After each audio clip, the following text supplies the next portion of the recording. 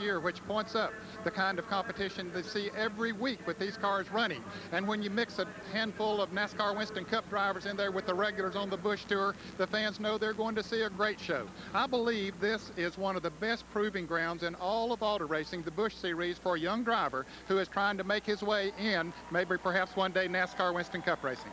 Well, there are some inexperienced drivers and a lot of experienced drivers in tonight's field, but either way, they will get a stiff challenge from this very tight racetrack. How about it, Benny Parsons? Jerry, what a unique racetrack we have, have here at Indianapolis Raceway Park. Most 5 8 mile ovals flat, the groove would be on the bottom of the racetrack, surely no higher than the middle way of the track, but not here at Indianapolis. Here's the groove.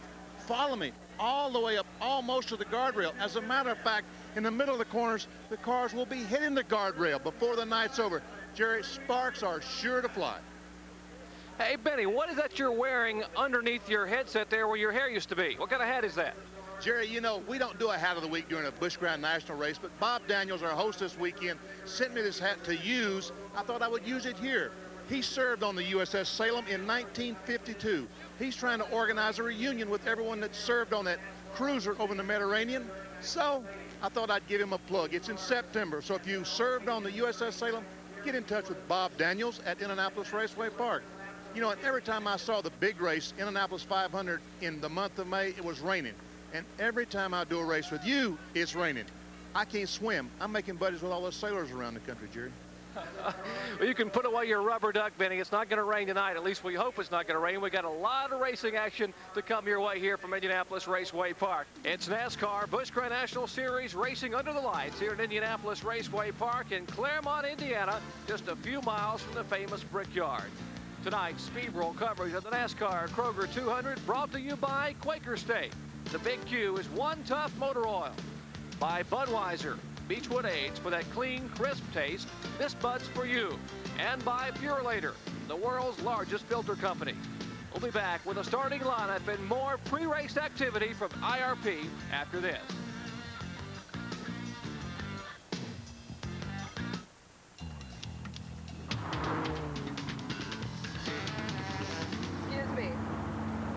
Are those Bugle Boy jeans that you're wearing? Why, yes. Thank you.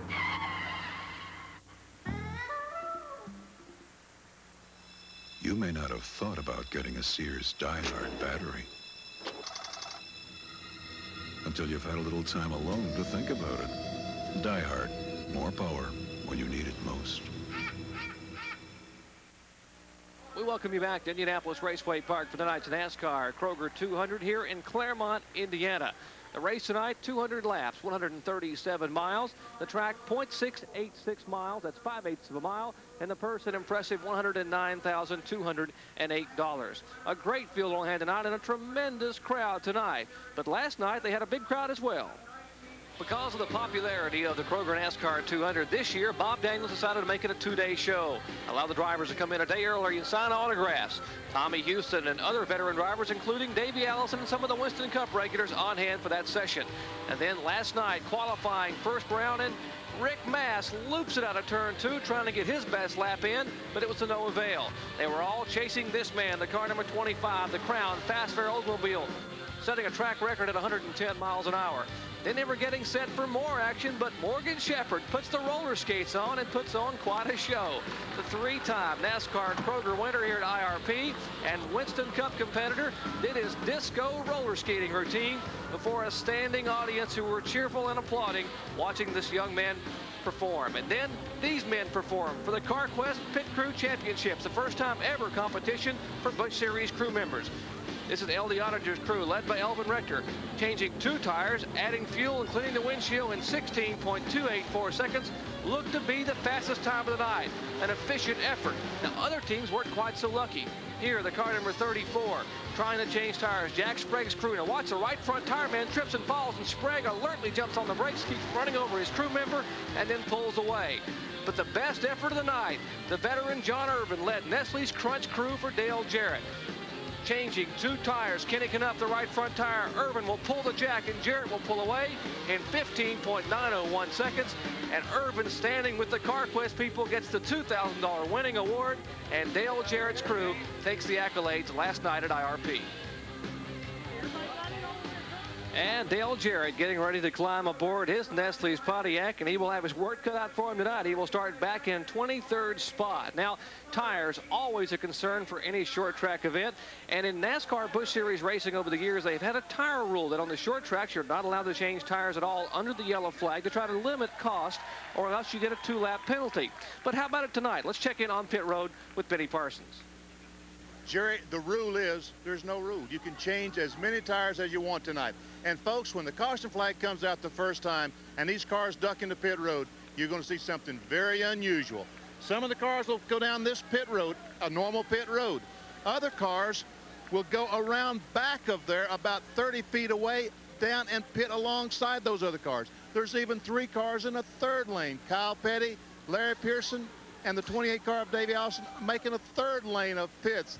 I'm going to have my work cut out for me, Jerry, trying to find all these cars. Thank you very much, Benny. It should be quite a night, and that pit action will be very exciting, and you'll be running up and down, covering it all here on ESPN. Well, let's take a look at our Sears Die-Hard starting grid. The front row, the veteran Jimmy Hensley and the rookie driver from Imperial, Pennsylvania. An impressive run for Davey Johnson. Back in row two, Elton Sawyer looking to pick up that win in Busch Series competition, and a man who was one here before, the veteran Tommy Houston. Back to row three, starting fifth, the man with a hot hand on the series, five wins in the past three months, Chuck Bown inside, and James Jamie Aube, the driver who leads the Busch North Tour, will start sixth. Back in row four, Kenny Wallace, younger brother of reigning Winston Cup champion Rusty Wallace and the veteran two-time series champion of the old late model sportsman ranks, L.D. Ottinger. Back in row five, Bobby Hamilton, a young man who ran so well last year as a rookie, and a former series champion here, Tommy Ellis. And we'll take a look at the remaining starting field here in the Sears Die Hard starting again. We'll show you back through the field, 36 cars in all. We'll start here. Dave Mader along with Rick Mast in row six. Davey Allison and Dale Earnhardt in all Winston Cup, row seven.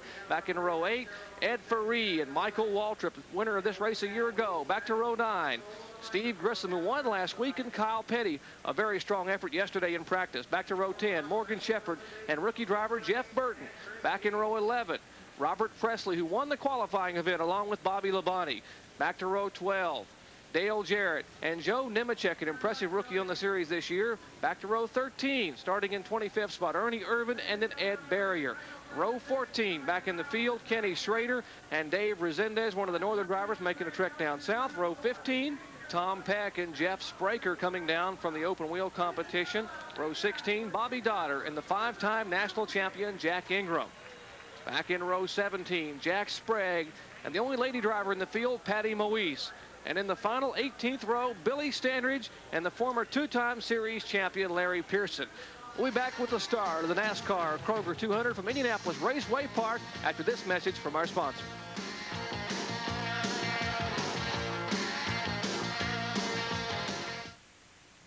It's one of the most technologically advanced, most rigorously tested fluids on Earth, relentlessly measured for maximum protection against the friction, the wear and tear, the heat and stress of today's engines.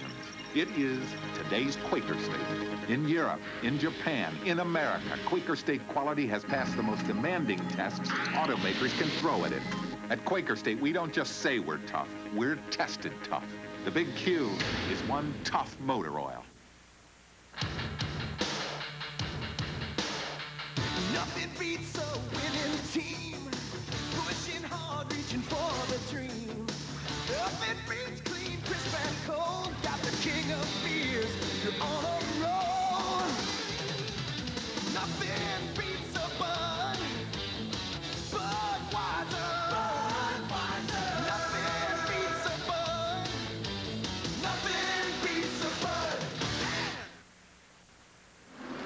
Back in Indianapolis Raceway Park, the current Busch Series point standings. Chuck Bown, the man with a hot hand, has a point lead, 317 points. And Chuck Bown in the Nescafe Pontiac will start in third spot tonight. The 36-year-old driver whose best finish here eighth a year ago. But what a difference a year makes for that driver. We'll be riding inside with the CarQuest Cage Cam. And that is the pole sitter's car. 44-year-old Jimmy Hensley from Ridgeway, Virginia. A former winner here at Indianapolis Raceway Park. And what an effort Hensley had yesterday in qualifying. A brand new one-lap track record, 110.26 3.60 miles per hour. That's the record for the Crown Fast Fair Oldsmobile, and he will lead the charge. 36 cars, 18 rows. The ninth annual visit for the NASCAR Kroger 200 to the 5/8 mile Indianapolis Raceway Park under the lights here, and we welcome you here to our Speed World coverage. Tremendous racing action on hand here. Brown on his feet at Indianapolis Raceway Park, getting ready for the green flag. The field out of turn four, led by the veteran Jimmy Hensley. Green flag waves, and Hensley pulls away toward turn one.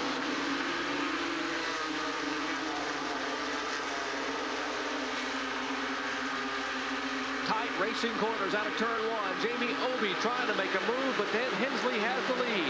Hensley over the rookie driver, Davey Johnson. An impressive qualifying performance for that 26-year-old driver from Imperial, Pennsylvania. But they are battling two by two back in the pack. Hensley will lead the first lap. A move inside. The car number 41 on the right of your screen. That is Jamie Aube, the North Series point leader. The field now doubling up out of turn two.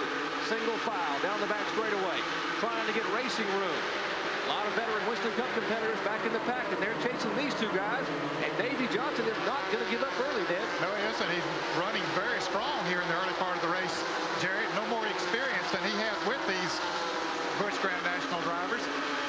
Back in the pack, Dale Earnhardt starting way back in the 14th spot, trying to make his way up through the pack. He is now currently shown in the Goodwrench Chevrolet in 10th spot, moving on the Rick Mast car. Mast in the left of your screen.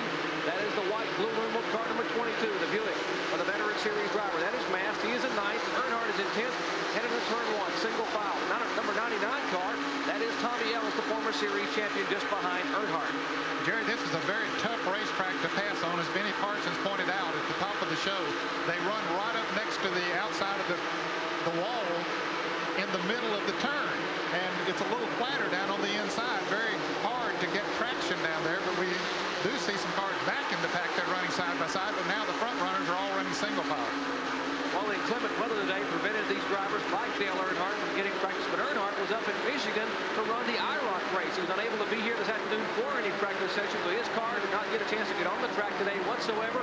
He is trying to handle, get this car dialed in early on, and having trouble now moving in on Rick Mast. And there's trouble up in turn four.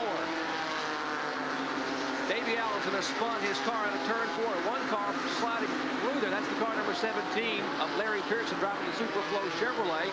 The 08 car, Bobby Dotter involved. He's got some sheet metal lamps to the right front. There's the five-time national champion Jack Ingram showing a lot of smoke from his car. Now Pearson pulls away, gets the Superflow Chevrolet fired. These cars were trying to spin to look like to avoid the spinning car of Davey Allison. I'll tell you, when a car gets in trouble here, Jerry, there's not a lot of room to maneuver. There's lots of room, but to keep a car under control and move maneuver around other cars that are in trouble is tough to do. So you don't see many single car wrecks on this racetrack, especially early in the race. No one lost a lap up there. One car spinning the heaviest damaged of all the cars coming towards you right now. That's Bobby Dotter, the son of the three-time ARCA Series champion, Bob Dotter. And now Bobby Dotter, who runs the Busch Series on a regular basis in his car number 08. He started back in the 31st spot 30 years of age from Chicago, Illinois, having some sheet metal damage. He will wait to get the pit road open, and they will come around behind the pace car, and possibly he will duck on to get some of that sheet metal cut away. There's a look at Bobby Dotter, who uh, had a great effort in Busch Series racing a couple of years ago, and then was burned in a crash at Daytona had to sit out for the, most of the year and came back this year and has been running stronger and stronger week after week.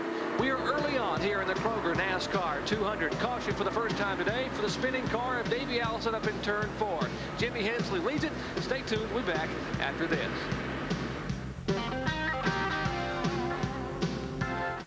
ESPN and Quaker State present Racing Tough, the new video that lets you answer the question, do you know what it takes to be a winner? Benny Parsons and Brett Bodine take you on auto racing's toughest road test, challenging your knowledge of what drivers, builders, and crews do to get the most from their cars. It's a fun way to become an auto racing expert. Order Racing Tough for only $19.95 by calling 1-800-472-1700. That's 1-800-472-1700. We'll send you the toughest road test you'll ever take. Racing Tough. Call now and you can have 13 weeks of the Wall Street Journal and this valuable 120-page guide to understanding money and markets. That's 13 weeks of the journal for the news and ideas you need every business day. And this guide free, which tells you everything you want to know about money and markets, now for only $34. Call toll-free 800-832-8700. Today's Wall Street Journal. Faster, tougher, smarter. Call 800-832-8700 now. Baseball. Four nights a week. Major League. Under the lights. ESPN baseball tonight. Tuesday, Friday, doubleheader. Wednesday. Nothing better. Catch it Sunday, watch the fun. Sunday night. The Padres face the Astros on Sunday Night Baseball live at 8 Eastern on ESPN. Back at Indianapolis Raceway Partners, including the first caution of the day. Safety car makes the hard left-hand turn down pit road, and Jimmy Hensley, our pole sitter, picks up where he left off, taking the green flag and leading the charge in turn one. Tommy Houston in the car number six on the inside, trying to make a move inside. Jamie Aube that will take over the fourth spot. Aube, the car number 41. That's Elton Sawyer in the 27, and Houston may get hung out to dry on the bottom of the He racetrack. just might do it. Normally, you get hung out to dry when you're on the outside, Jerry, but down on the inside here is not the place to be. Houston having trouble getting traction. Now he gets back in line. Single file back to turn one. Tommy Houston having to fall back in line. There is Dale Earnhardt, the car number three. Now Earnhardt had started that car back in the 14th spot. Is moving up in the 10th now. He's just behind the car number 22 of Rick Mast.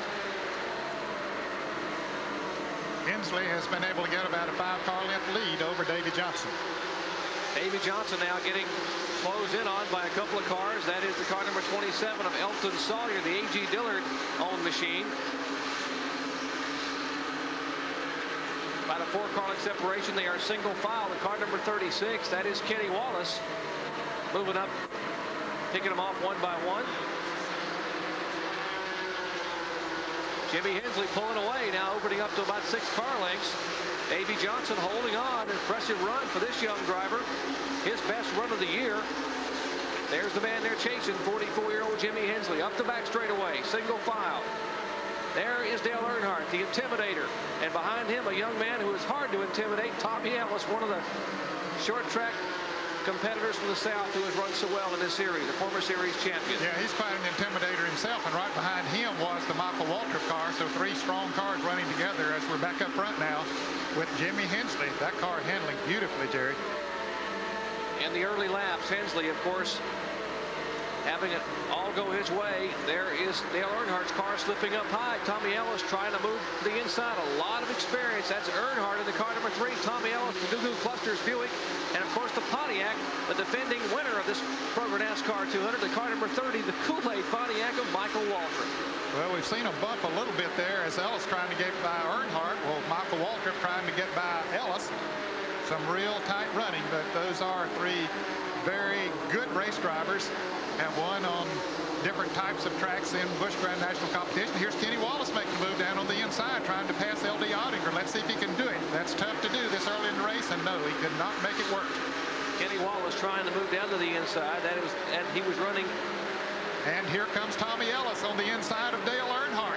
Now, he don't mind doing a little bit of rooting and shoving if he needs to. Earnhardt goes high, gives Ellis running room down on the inside. Let's see if he can hang on now as he goes into turn one. Tommy Ellis trying to keep the car pulled to the bottom of the racetrack. Earnhardt stays back in the throttle up high. The high groove is where the momentum is. Earnhardt now running door to door with Ellis, but Ellis will have the advantage in turn three. And no, Earnhardt jumps back in the throttle, and Ellis. Out of turn four, they are still door to door. Michael Waltrip don't know which one to follow, Jerry. He knows that the inside groove is tough to pass on, but he sees what Tommy Ellis is able to do down there on the inside, at least staying side by side with Earnhardt, so he just doesn't know which way to go. They are moving in on Kenny Wallace and company just in front of them, but Ellis now trying to get the advantage. A very, very difficult racetrack. You heard Benny Parsons mention it is a one-groove track, and if you make it a two-groove track, you make it hung at the drive. Tommy Ellis is trying to get around, but he cannot pass Dale Earnhardt. Let's check in the pits with Benny Parsons. Jerry Punch, we're watching Jack Ingram's crew working on the left rear axle. Action up in turn four, someone hit the tire in the left rear, and they feel like they have a broken axle. They can't get the axle out to find out if it's broken or not. Spending a lot of time in the pit. Tough break for Jack Ingram, the five-time national champion, but Earnhardt now is on the move. He has moved underneath L.D. Ottinger, and Ottinger has slid back behind Earnhardt and Michael Waltrip, and now Tommy Ellis trying to move to the inside of the veteran L.D. Ottinger. Ellis in the car number 99. Those are red cars, red and black, almost identical some reversal with the black and red. Ellis on the inside trying to move by the L.D. Ottinger car. Well, it looked like that inside groove is going to work for Ellis this time, but it didn't work for him, Jerry, when he was trying to pass Dale Earnhardt. In fact, he lost two or three positions. Michael Waltrip got by him, and Earnhardt too, of course. There's Ottinger getting a little bit sideways in the car number two, while Dave Mader the third in car number 56 comes up on him. And there's Morgan Shepherd in the yellow and white car trying to make a move. That's back in the 11th spot back there. That is the 11th that L.D. Ottinger, or actually Ottinger now back to 12th spot as he's been passed by Tommy Ellis. And Tommy Houston's car number six is slow on the inside. Well, let's take a lap around this racetrack and, and see how Jimmy Hensley maneuvers. Now he's come down the front straightaway across the start-finish line, dips down a little bit going into turn one, and then you can see him go up next to the wall. You can see some cars have already hit that wall, and then drifts out again, going down the backstretch into turn three, and you'll come down about the center of the racetrack, let it drift out again, and there's caution on the track. Got a crash on the front straightaway. One car has tagged the wall. That is the car number 69 that has come to rest at the far end of the front stretch.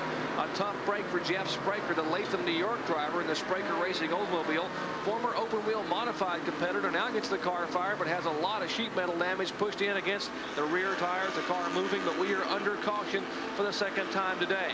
Now, this is a tough break for Spraker, but it may be a break, Ned, for Tommy Houston, who just made an unscheduled pit stop. Could be. We had noticed that Houston had slowed down in fact, you made mention of it, and he had just come into the pits, but when the caution came out, he came back out, and I think he stayed in the lead lap. We'll have to check that as we watch Spraker's car go around the racetrack, but Houston is at the tail end of the line, so yes, if he stayed in the lead lap, that certainly would be a break point. And there is Tommy Houston in the Roses Buick, a competitive uh, Busch Series veteran Tommy Houston at 45 years of age has run so well this year, has four wins to his credit. And we will check momentarily with what happened to Tommy Houston. We are under caution for the second time today at Indianapolis Raceway Park. Jimmy Hensley leads the way. Stay tuned. We'll be back after this.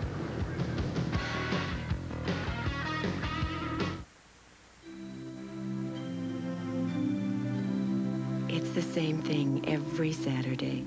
He puts on those old blue jeans and goes out with that old dog, and he's gone all day. He says he's going to bring back dinner, but all he ever brings back is that old dog. Here's to old dogs, Saturday mornings, and comfortable blue jeans. Wrangler. If you love cars, you'll love Auto Week, the news weekly of motoring. Every week, Auto Week puts you inside the world's most exciting cars. GTs, sports sedans, collector cars, 4x4s, front drivers. Auto Week makes you an insider with industry news, personality profiles, old cars, columnists, the best classified anywhere. And nobody covers racing like Auto Week. You get the fastest coverage of Formula One, sports cars, stockers, Indy cars. It's all in Auto Week, the news weekly of motoring every week. Call 1-800-354-6100 for this ESPN Race Weekend special and get Auto Week at our lowest price ever, just $17.95 for 52 issues. But do it now. This offer expires Monday, August 13th. Get Auto Week at the lowest price ever. Call 1-800-354-6100. Break, Tommy Houston in the Roses Buick made an unscheduled pit stop. I'm with Don Miller, the engine builder on the car. Don, what seems to be the problem? Front seal on the transmission is gone. It's putting grease in on the clutch disc and causing it to slip. So the clutch is slipping? Yes. Sir. Is he going to be, going to be able to run at top speed or? Uh, no, I don't. Right now we don't know how to fix that. Oh, one of the top, one of the top runners out, Jerry. Tough break for Tommy Houston, currently fourth in the point standings. Back to green flag racing, and Jimmy Hensley, who set the track record at over 110 miles an hour, pulls away. An impressive, just as impressive as Hensley's run, is running in second spot, young Davey Johnson, the, the rookie driver this year on the tour for the first time running the full tour. And there we are inside, looking out of the back of Hensley's Oldsmobile in our CarQuest cage cam. And you get a good look at the front of the Buick, the Daily's Fruit Juices Buick of Davey Johnson.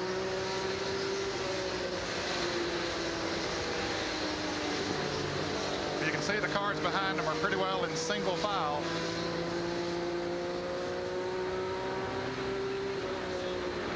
running right up next to the wall. There's a battle back in the pack, and that's Morgan Shepherd creeping up there to the right of your picture, the car number nine, the Texas Pete Sauces Chevrolet. And we'll show you last year's winner. That's the Kool-Aid Pontiac of Michael Waltrip. Michael Waltrip having started way back in the field in the car number 30 and 16th spot. In the country time, Drink Mixes Pontiac. That's the Ronnie Silver prepared car. There he is the left of your screen. Waltrip now trying to move inside. Elton Sawyer in the car number 27. Sawyer now trying to hold him off in the Buick, but Waltrip takes the spot. Hey, Waltrip is, is looking pretty strong here, Jerry. Of course, he knows how to get around this racetrack, as evidenced by his win last year. Making some very good moves and picking them off sort of when he comes to them. He, he has to work them. As we said earlier, you've got to work somebody to get them around them on this racetrack. But if you have a good handling race car, you can do it. And he's showing that you can. Well, he is currently in seventh spot. The Waltrip in the seventh position. Trying to move in on Kenny Wallace in sixth. Now, Kenny just in front of him for a second. Here's Kenny Wallace in the green and white car that Michael Waltrip is coming up on now. Waltrip running a very good line around this track. Rick Mast in the blue and white, car number 22 up in front of them. So good racing everywhere. You can see how close the cars are running, running in single file. Michael Waltrip now trying to size up Kenny Wallace in the car number 36 in front of him, but Wallace running very strong himself. Michael Waltrip running back in the seventh spot. That is Kenny Wallace, the green number 36 and sixth. And of course, Rick Mast in the fifth place. Mast is starting back in the field. A good run for Rick Mast. The Kool-Aid colors of Michael Waltrip. The car he won with last year. In fact, he destroyed in a spectacular crash on ESPN at Bristol, Tennessee early in the year. So Ronnie Silver and the crew rebuilt the car for the short tracks, and it is coming to bear tonight here at Indianapolis Raceway Park. Michael Waltrip trying to move in on Kenny Wallace. Michael Waltrip, who won here a year ago, likes this racetrack. He thinks that possibly he's had some good breaks up here, and again tonight he is having a good run at this 5/8 mile asphalt facility. Michael Waltrip thinks he's been pretty lucky this racetrack. How about it, Mike? You've had some good luck at IRP, haven't you? Uh, this deal's been real good for me. We, we started my I started my Busch career right here in 1988 with my first ever Busch Grand National start two races later, I won my first Busch race at Dover in Daryl's car. We won here last year, and we've already won two this year. So uh, it's it's a nice deal for me to be able to, to be in a race car and be winning while I'm still trying to conquer the, the big, big deal on Sunday. Michael Waltrip, who would like to make it two in a row up here. He became the only, the first driver in IRP history to win from Busch Series competition from the pole, although Jimmy Hensley might do it again tonight. We will take you back in the pack and pick up the three-time winner here at Indianapolis Raceway Park, Morgan Shepherd now driving the car number nine, the Mike Swain on Texas Pete Sauces Chevrolet. Now, Shepherd has agreed to drive this car in 16 races thus far this year, and he has two pretty good finishes, fourth at Nazareth and fourth at New Hampshire. Yes, he has, has helped that team considerably, Jerry. They were having some handling problems with their cars, and there's no one in auto racing in my opinion, that knows more about the chassis of a race car than Morgan Shepherd. So he brought a good bit to the table other than his tremendous driving ability in this series. On other short track events, Ward Burton, a rookie driver and the older brother of Jeff Burton, drives the car. But even though Morgan did not qualify that well back in 19th spot, he is running better and better, currently being shown in the 12th spot. There's Kyle Petty right behind him with the new color on the car number 42 and a new sponsor on it. That's the Splitfire spark plugs. Of course, they were sponsored by Ames. Of course, for, for legal reasons, the Ames department store people unable to continue their sponsorship. They are in Chapter 11. And Splitfire came on board with that Ted Condor-owned team, and Kyle Petty has run very, very well. One of the better cars in practice earlier yesterday and today. He did not qualify that well, but is expected to be strong late in the race car seems to be handling very well. Many these drivers just sort of checking out the competition. They want to run hard so they won't lose a lap because they know Jimmy Hensley's out front running very hard and they want to get as far up front as they possibly can so when they make a pit stop they'll have good track position. Petty back in 14th. Right behind him is Steve Grissom in the car number 31. Then Dale Jarrett. And Jarrett now sliding a little bit as they're trying to move by the slowed car. Tommy Houston. Houston, of course, having made the unscheduled pit stop. You heard that report from the pits a little bit ago with Benny Parsons and Don Miller. And there is Dale Jarrett, whose crew won that first annual CarQuest Pit Crew competition last night. A little over 15 seconds, and Jarrett now running back in the pack. He is in 17th position now, Jerry. He started in 23rd position. Dale Jarrett slowly but surely picking him off, and a pretty good pack to be in. That's Kyle Petty in the car number 41, Steve Grissom in the 31, and Grissom coming off his first ever Busch Series win a week ago at Pulaski, Virginia, up in Dublin, Virginia, Pulaski Speedway, we should say. And he's trying to move inside of Kyle Petty. That's for the 14th spot. Jimmy Hensley showing the way back up front, and Hensley is literally pulling away in the crowd past Fair Oldsmobile. A tremendous day for the 44-year-old Ridgeway, Virginia driver. Jimmy Hensley becoming the second driver to lead them all. We'd like to do it here. Stay tuned. We'll be back.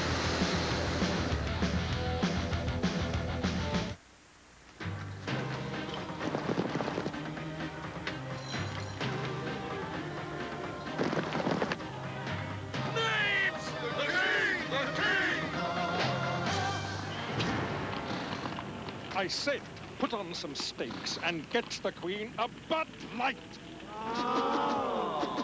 Bud Light's clean, fresh taste won't fill you up, never lets you down. Henry, they're Pop-Tops. Everything else oh. is just a light.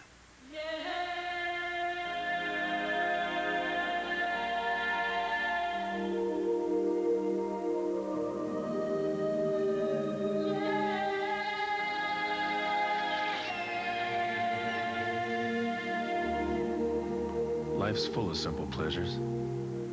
Like the comfort of Levi's jeans. Or had you forgotten? Phil and Laura Gordon, married, one child. Frosted Flakes, Dad? No, that's a kid's cereal, honey. Yeah. How about some all brand? Publicly, they claim Kellogg's Frosted Flakes is just a oh, kid's cereal, but these films tell a different story. Experts believe they loved those sweet, crunchy flakes as kids and just never got over them. I forgot my lunch. What's going on? Nothing. Here, we're mine. You're right. Oh it's okay. Oh my gosh. It's okay. Why hide it? Frosted Flakes have the taste adults have grown to love. They're great! Seven cars battling it on a very, very tight racetrack on a Saturday night at Indianapolis Raceway Park, and they are really putting on the show here before a capacity crowd. Dale Jarrett in the Nestle's Crunch Pontiac trying to move inside. L.D. Ottinger, Ottinger in the car number two. That is Ernie Irvan in the black and orange numeral car number 75. Jarrett's car got a little bit loose then, and he got past. Yeah, he, he was down on the inside. He had made a number of passes on the outside, Jerry, but he got down on the inside, and that's a tough way to try to get around this racetrack, and he got loose and lost the position. Boy, that is some kind of racing going on between all of these drivers. That's Bobby Hamilton in car number eight on the outside. Joe Nemechek in car number 87 pulling up on Kyle Petty. And here, Jerry, once again, he's going to try that inside on L.D. Ottinger. It didn't work for him earlier. Let's see if it'll work this time. Yep, I believe he's going to make it work this time. Jarrett trying to move to the inside of the Detroit Gasket Oldsmobile of Ottinger, and he will take the spot away. And Jarrett had to run the qualifying race. Now Robert Pressley in the car number 59. Pressley in the Alliance Training Center machine who won the qualifier to get into tonight's field. Cannot quite get by the Ottinger machine. Here comes Kyle Petty to the outside. The car number 42, the split fire spark plug Pontiac. Boy, I tell you, when an opening comes on the outside, they jump in there, Jerry. Sometimes it looks like there isn't room for a race car out there between another car and the wall, but they jump out there just as quickly as they possibly can because it still is the fast way around this racetrack. There's Dale Jarrett in the car number 32. Had some impressive runs early in the year. They are still single file. That is Pressley now as Nemechek has gone by him. Let's go back inside the Crown Racing machine here. The Oldsmobile of Jimmy Hensley coming up on lap traffic in our CarQuest cage cam. Let's see if Hensley can get by, see if he'll make it two abreast, trying to get by the car number 69 of Jeff Spraker. Well, he has been able to run out front most of the time, Jerry, and build a big lead, but now he's uh, having to work traffic. And here is Bobby Hamilton, an unscheduled pit stop for him. He was one of the drivers we saw just a moment ago in that seven-car battle. Kip McCord and the crew. That's Bobby Hamilton, a former track champion at the Nashville Fairgrounds Raceway, an impressive young driver who was tabbed last year to drive, remember, one of the movie cars at Phoenix for Hendrick and qualified the car in the top 10. So an impressive driver having his troubles tonight. One driver who's having it go all his way is Jimmy Hensley. Pole sitting record time at over 110 miles an hour, and he is literally picking them off one by one. Now back in the field. Big battle back here. Elton Sawyer in the car number 27. Then comes Steve Grissom, the 31. Dave Mader, the third. Now, he is driving the car that's formerly driven by Ronald Cooper. It's owned by the Cooper family, the car number 56. Dave Mader, the third, a four-time NASCAR All-American Challenge Series champion. And he is now in the Busch Series competition, just, just getting started a few weeks ago and doing pretty well, Ned. Yes, he's doing a great job. No question about it. There's Morgan Shepherd trying to go by him on the outside. Now you can see Dale Jarrett has caught up to that crowd. He just got one, out of one big pack of cars and comes up on another. Great racing back in the pack. That is back for the 9th, 10th, 11th, and 12th place runs. That is the Dave Mader car number 56 back there. The 75 is Ernie Irvan and Dale Jarrett moving down to the inside. He's going to follow fellow. Whoa, Irvan cuts down to Jarrett, jams on the brakes. Boy, he was lucky to get out of that. That was a, a real tight situation. There's Tommy Ellis now trying to come back on the inside of Jarrett after Jarrett slid there for a little bit. Ernie Irvan able now to get around Elton Sawyer in the car number 27. Jarrett now back in single file.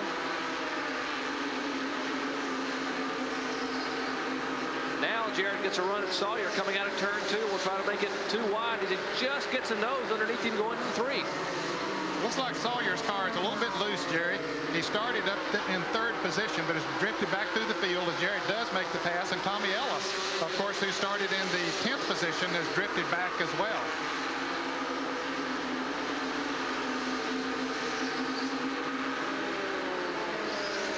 Dale Jarrett currently being shown in 13th spot, and that 14th is Elton Sawyer. Tommy Ellis trying to take the 14th spot away. Back on the inside, Ellis is the car number 99. 1988 Busch Series national champion. Ellis caught on the inside, and he gets passed by L.D. Ottinger. Well, there again, he got caught down on that inside. Here's Kyle Petty trying to come by up on the outside.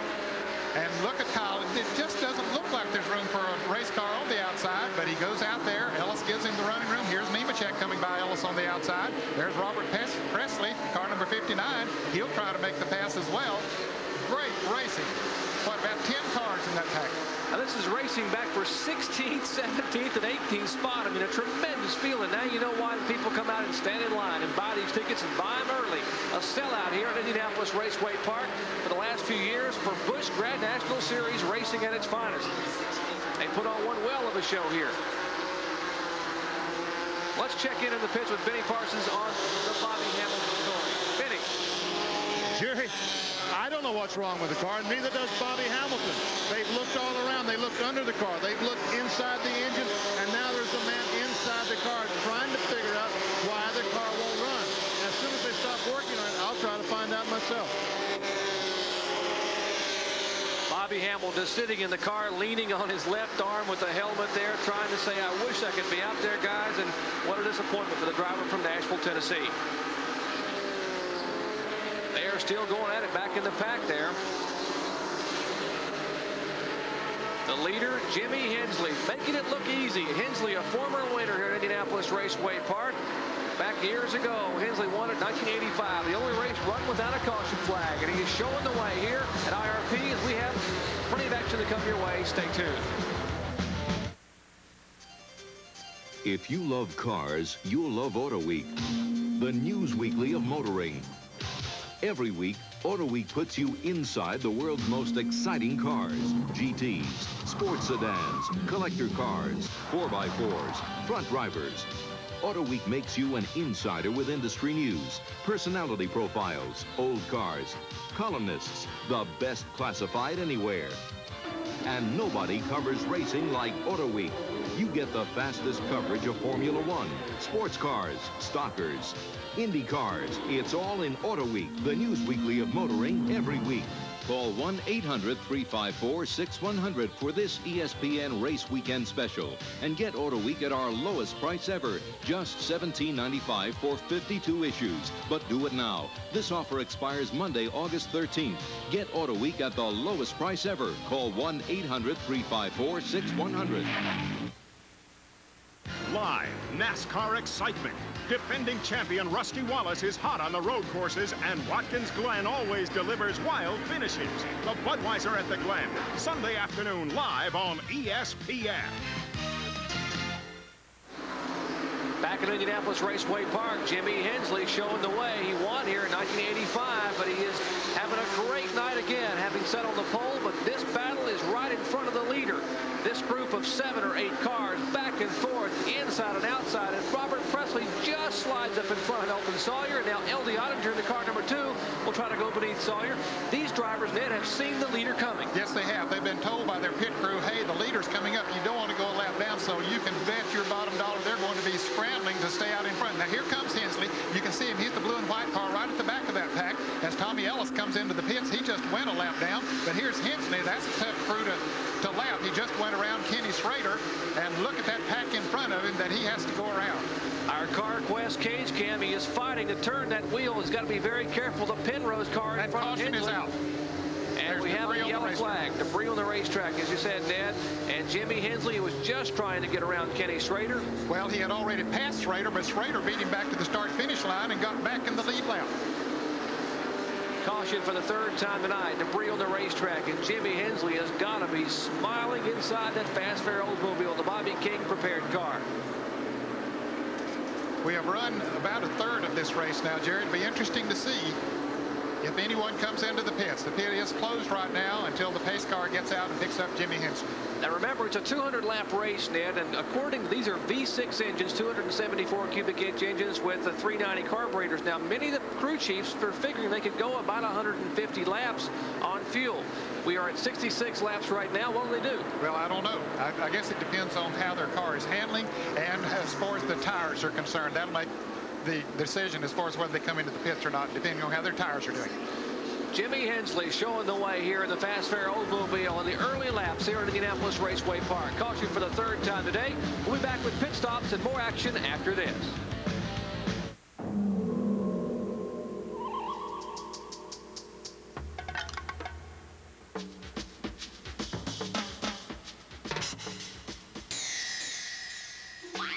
What could this off-road vehicle possibly have in common with this off-road vehicle? The same quality filter protection you can give your car from Purolator, the world's largest filter company. Oh, the of athlete's foot.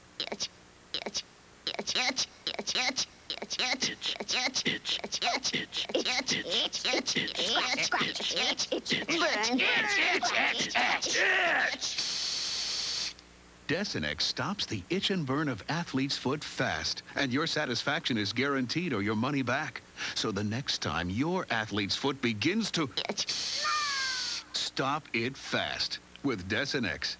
The Quaker State King Racing Buick, winner of the 1989 Die Hard Award for the most tough NASCAR miles, is winning again in 1990 as Brett Bodine takes first in the first Union 400.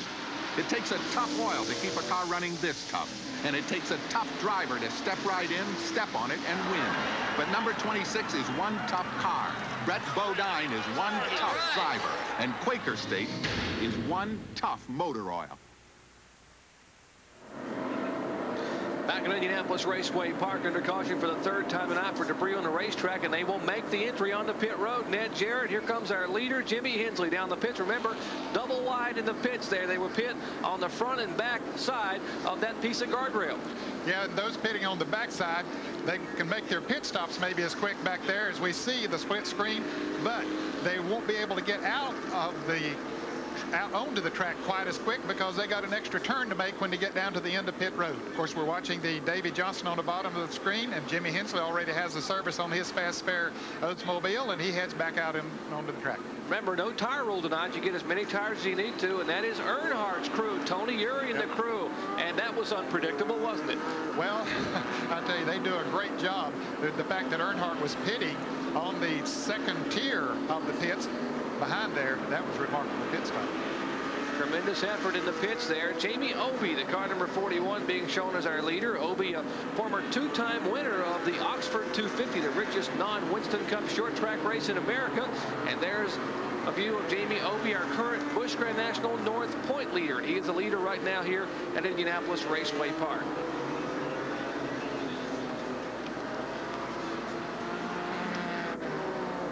while we're under caution here, let's uh, take a look at some of the unique things that happen on pit road behind pit wall with some of the lap charts. Here's Benny Parsons.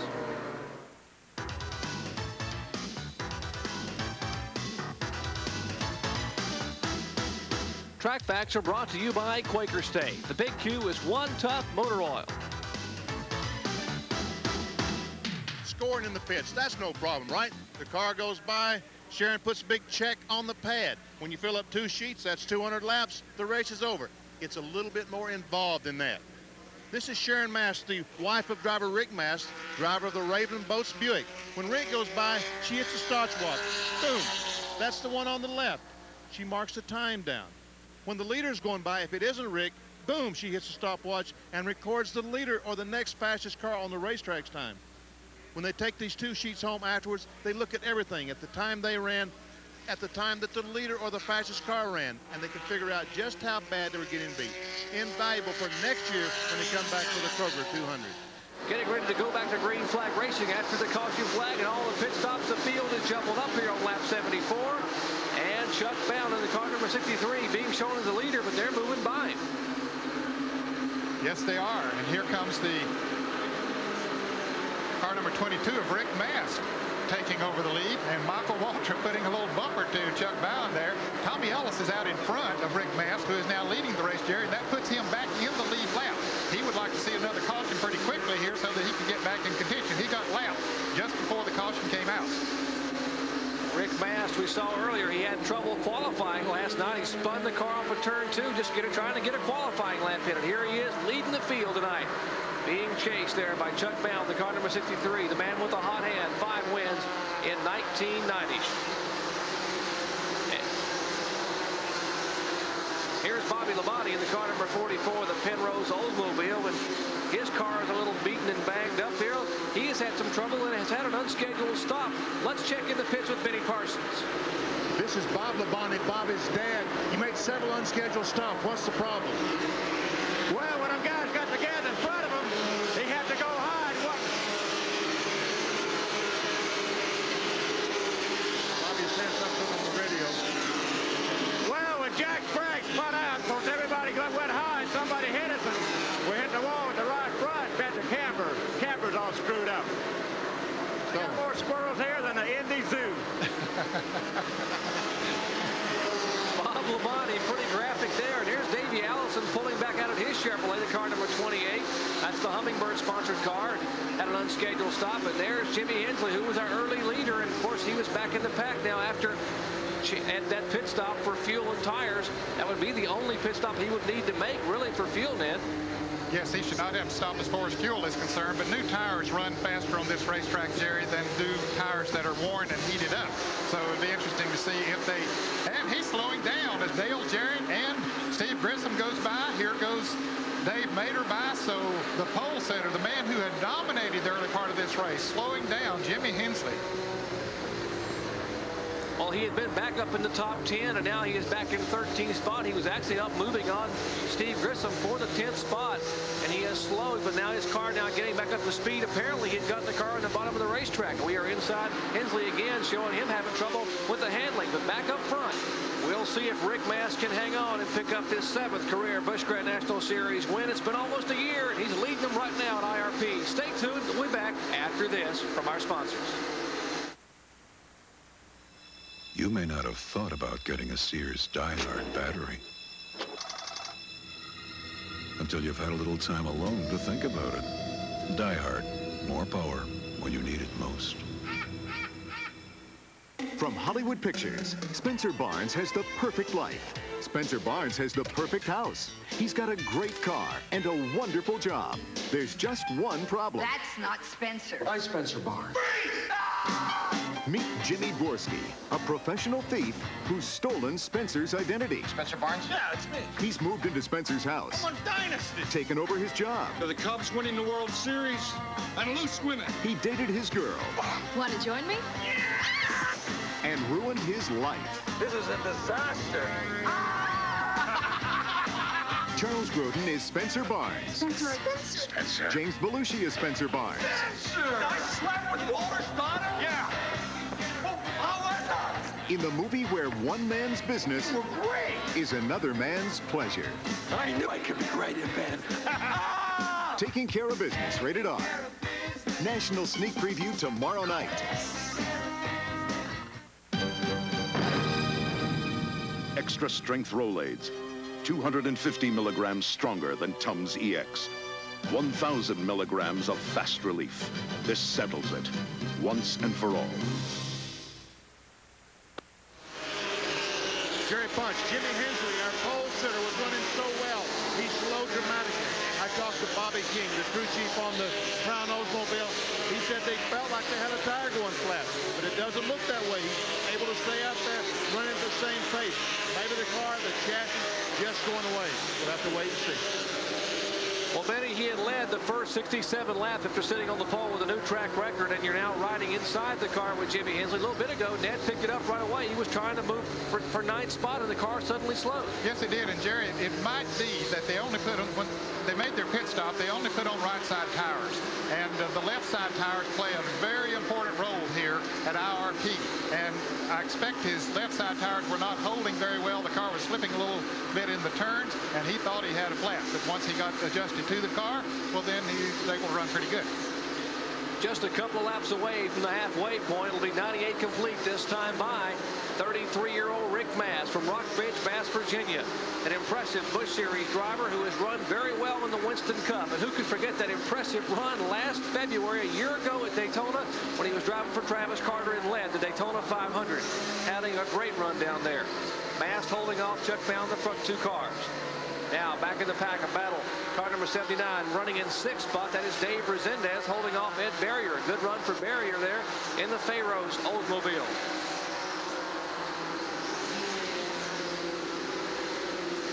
It wasn't long ago that Berrier passed Dale Earnhardt, so they pulled away from him a little bit. Lot of people have been impressed with Dave Rezendes's run this year. Of course, the veteran crew chief Daryl Bryant is the wrench on that car, and Rezendes came within a hair of winning up at Nazareth, Pennsylvania earlier in the year. Was just passed late in the race by Jimmy Hensley. So a good run for Dave Rezendes, currently being shown in the seventh spot.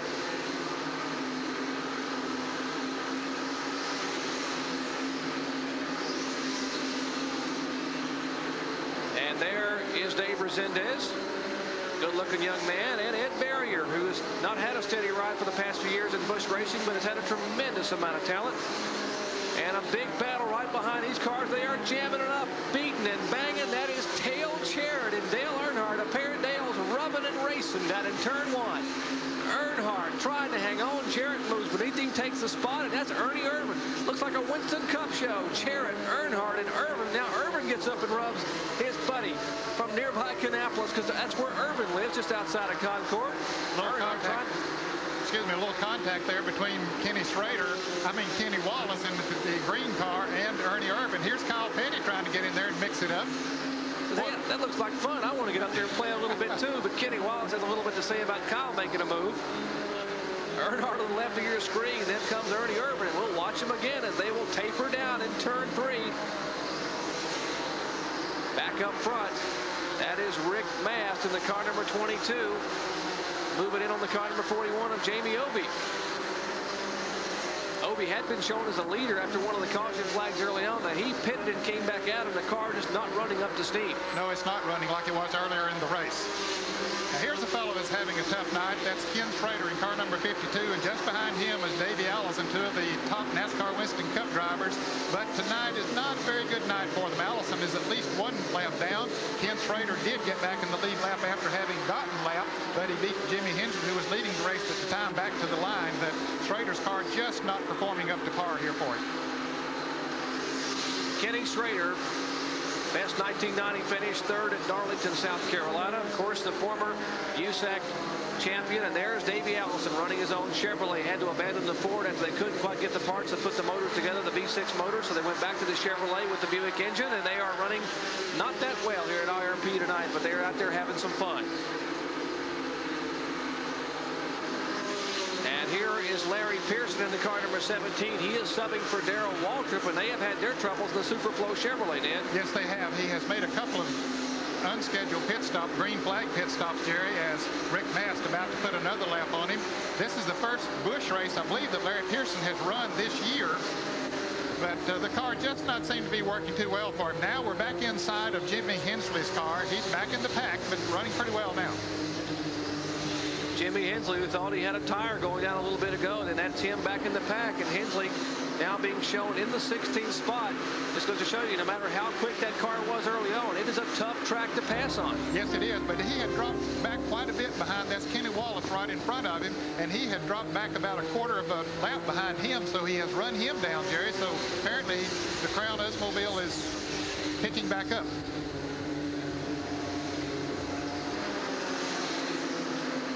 Jimmy Hensley back in that pack, and they are trying to mix it up. Hensley dives to the inside toward turn one. He will try to get a move inside of Kenny Wallace. Wallace, the car number 36, the green car. Hensley trying to get beneath him. That's Earnhardt in front. And just how many cars can get in one spot out of turn two? Well, I'll tell you, they couldn't go three wide, although they tried it for just a moment. But here's Hensley, very determined to make that move down on the inside, but it's not going to work for him. In fact, he'll lose a position as Nemechek goes by on the outside. They, they are have passed some other cars. Earnhardt now being shown in the 11th spot. Hensley was 12th, and of course those guys battling just to get in the top 10. Back up front, here's the guy they're chasing. Car number 22, the Raven Boats Buick, the Glenn Doyle sponsored car for Rick Mast. Looking for career win number seven in Busch Series competition. It's been a year since Rick Mast has won a race. A couple of young drivers, and of course the car number 31, Steve Grissom, who won a week ago in Pulaski, we said, and that is Robert Pressley. Picked up his first ever win a year ago, last August. In fact, it was a year ago at Orange County Speedway. Now they're battling for the fifth and sixth position. Pressley running in fifth place, Steve Grissom running sixth, and they're not too far behind the leaders.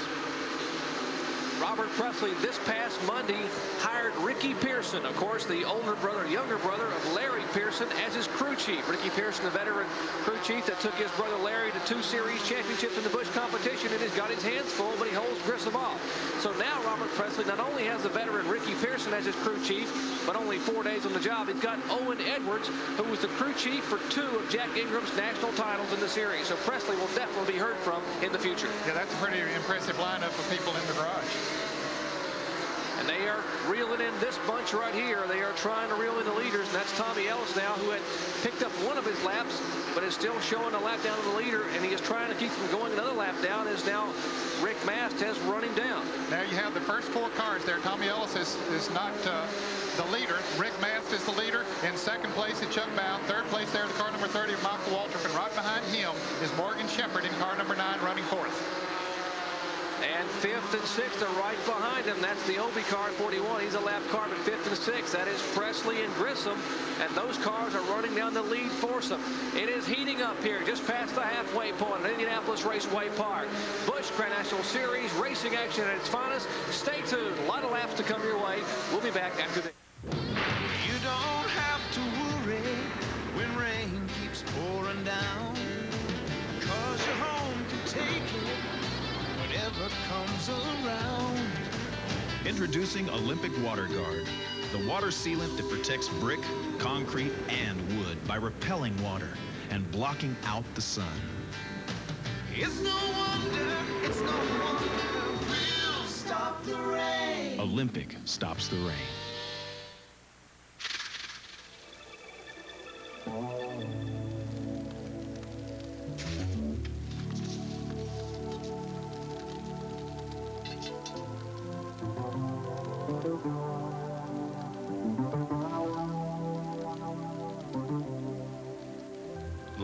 Of simple pleasures.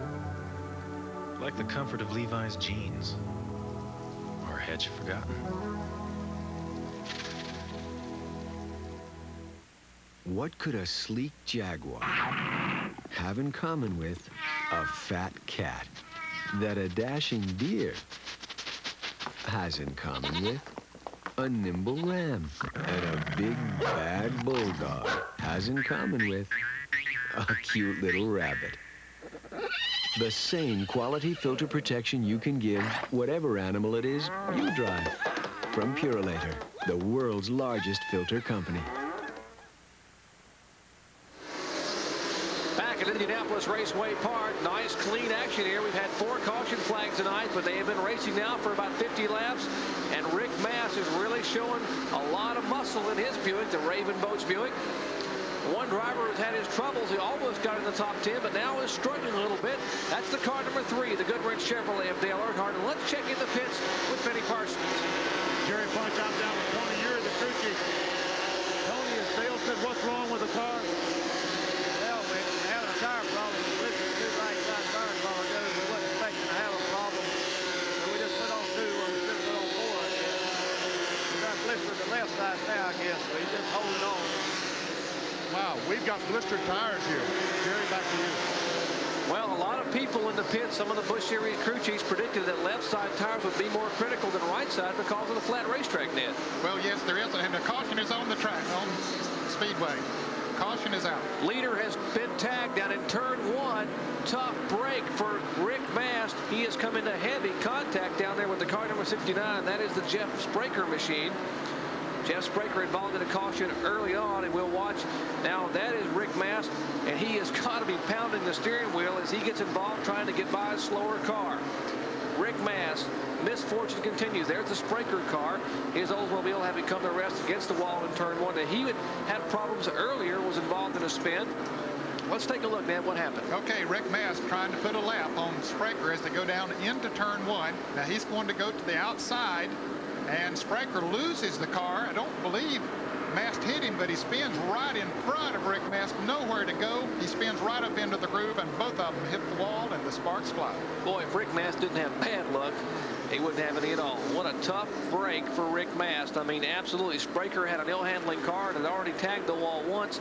And the youngster who is trying to get his, it's only his first season running in the Busch Series, coming from the modified ranks down from New York. And, and he is a very likable young man. He lost his father last year. His father who was his inspiration in racing. And his dad had told him, if I'm not here, son, go south and make it on the pavement in NASCAR. That's what he was trying to do. And a tough break for Spraker and a tougher break, really, for our leader, Rick Mast, who has some damage in the front of his Buick. Yes, I'm sure that he'll be able to continue, Jerry, but maybe not at the pace that he has been running. Mast now, the pits have not been open, so he cannot get on the pit road. A lot of sheet metal damage. The crew now will be trying to work. A couple of years ago, he was running so well at Daytona, and, and there he is, a likable driver. One of the people who is the most, one of the most best-liked drivers, I should say, in the pits of all the Busch Series competitors. In fact, a, a lot of rumors about him having a Winston Cup ride for 1991. The pits are open, and it's look feeding time at the zoo, Ned. They're all on pit road. Yes, everybody coming in, and I'm sure that most of them are going to be putting left side tires on those cars. Now we see Chuck Bown, they're changing the right side tires. Probably will be changing left side tires as well. They'll probably go ahead and make four tires, a four tire change while they're in this time. And again, to the right of your screen, there's a pit road on the back part of the pits. Let's check in the pits with Benny Parsons. We can see that heavy damage to the front of the Rick Mast Raven Boats Buick. And I was watching Jeff Spraker when he went in the corner. Jerry, it looked like he cut a tire or something. They're having all kinds of problems getting the nose off. There's some wire from some brake duct. They have to get some something to try to cut that. Otherwise, he's going to drag this nose all the way around the racetrack. Also trying to get the fender off the right front. Meanwhile, the pace car is coming off turn four. If they don't hurt, they're going to be lapped. Still working on the right front. Here comes the pace car. Still working on it. And they are going to go a lap down. What a tough night for Rick Mast, Jerry. Well, his misfortune here at IRP continues. The crew there, Man Apperson and Timmy Jones, the rest of the Raven Boats crew trying to work, but it's no use sending back out, Ned, and have a fender cut another tire down or possibly cut a brake line or something. They must complete that work. And, of course, the NASCAR official, the Busch official standing there watching the work and even getting some help from some of the other crews, the Detroit Gasket crew there. Looks like Elvin Rector and LD Ottinger's crew trying to help out a fellow competitor.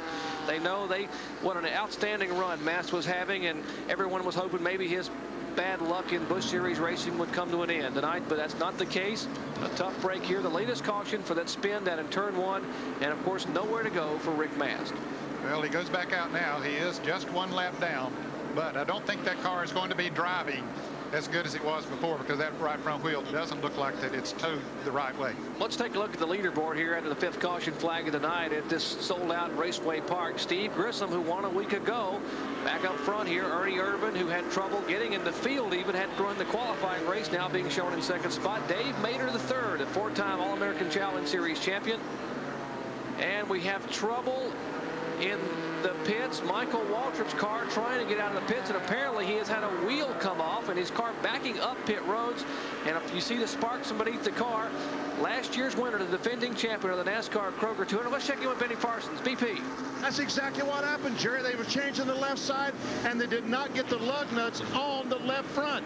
It's fallen off. He has backed it into the pit. They're putting the tire on. But meanwhile, the pace car again is up between three and four, so they've got to hustle. Still working on the automobile. They are tied in the lug nuts now.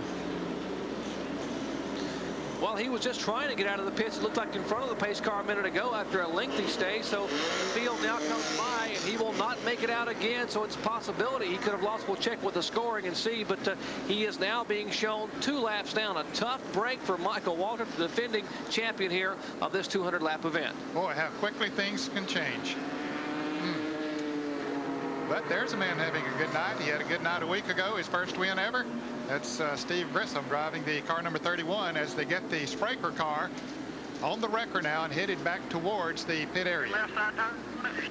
Still got to put a right rear and a left rear on the damn thing. We're listening in to Michael Waltrip. Pace car is just going out on the racetrack. The pace car is going in three. I'm two laps down, Fryer. Talking to Mike Fryer, his engine builder.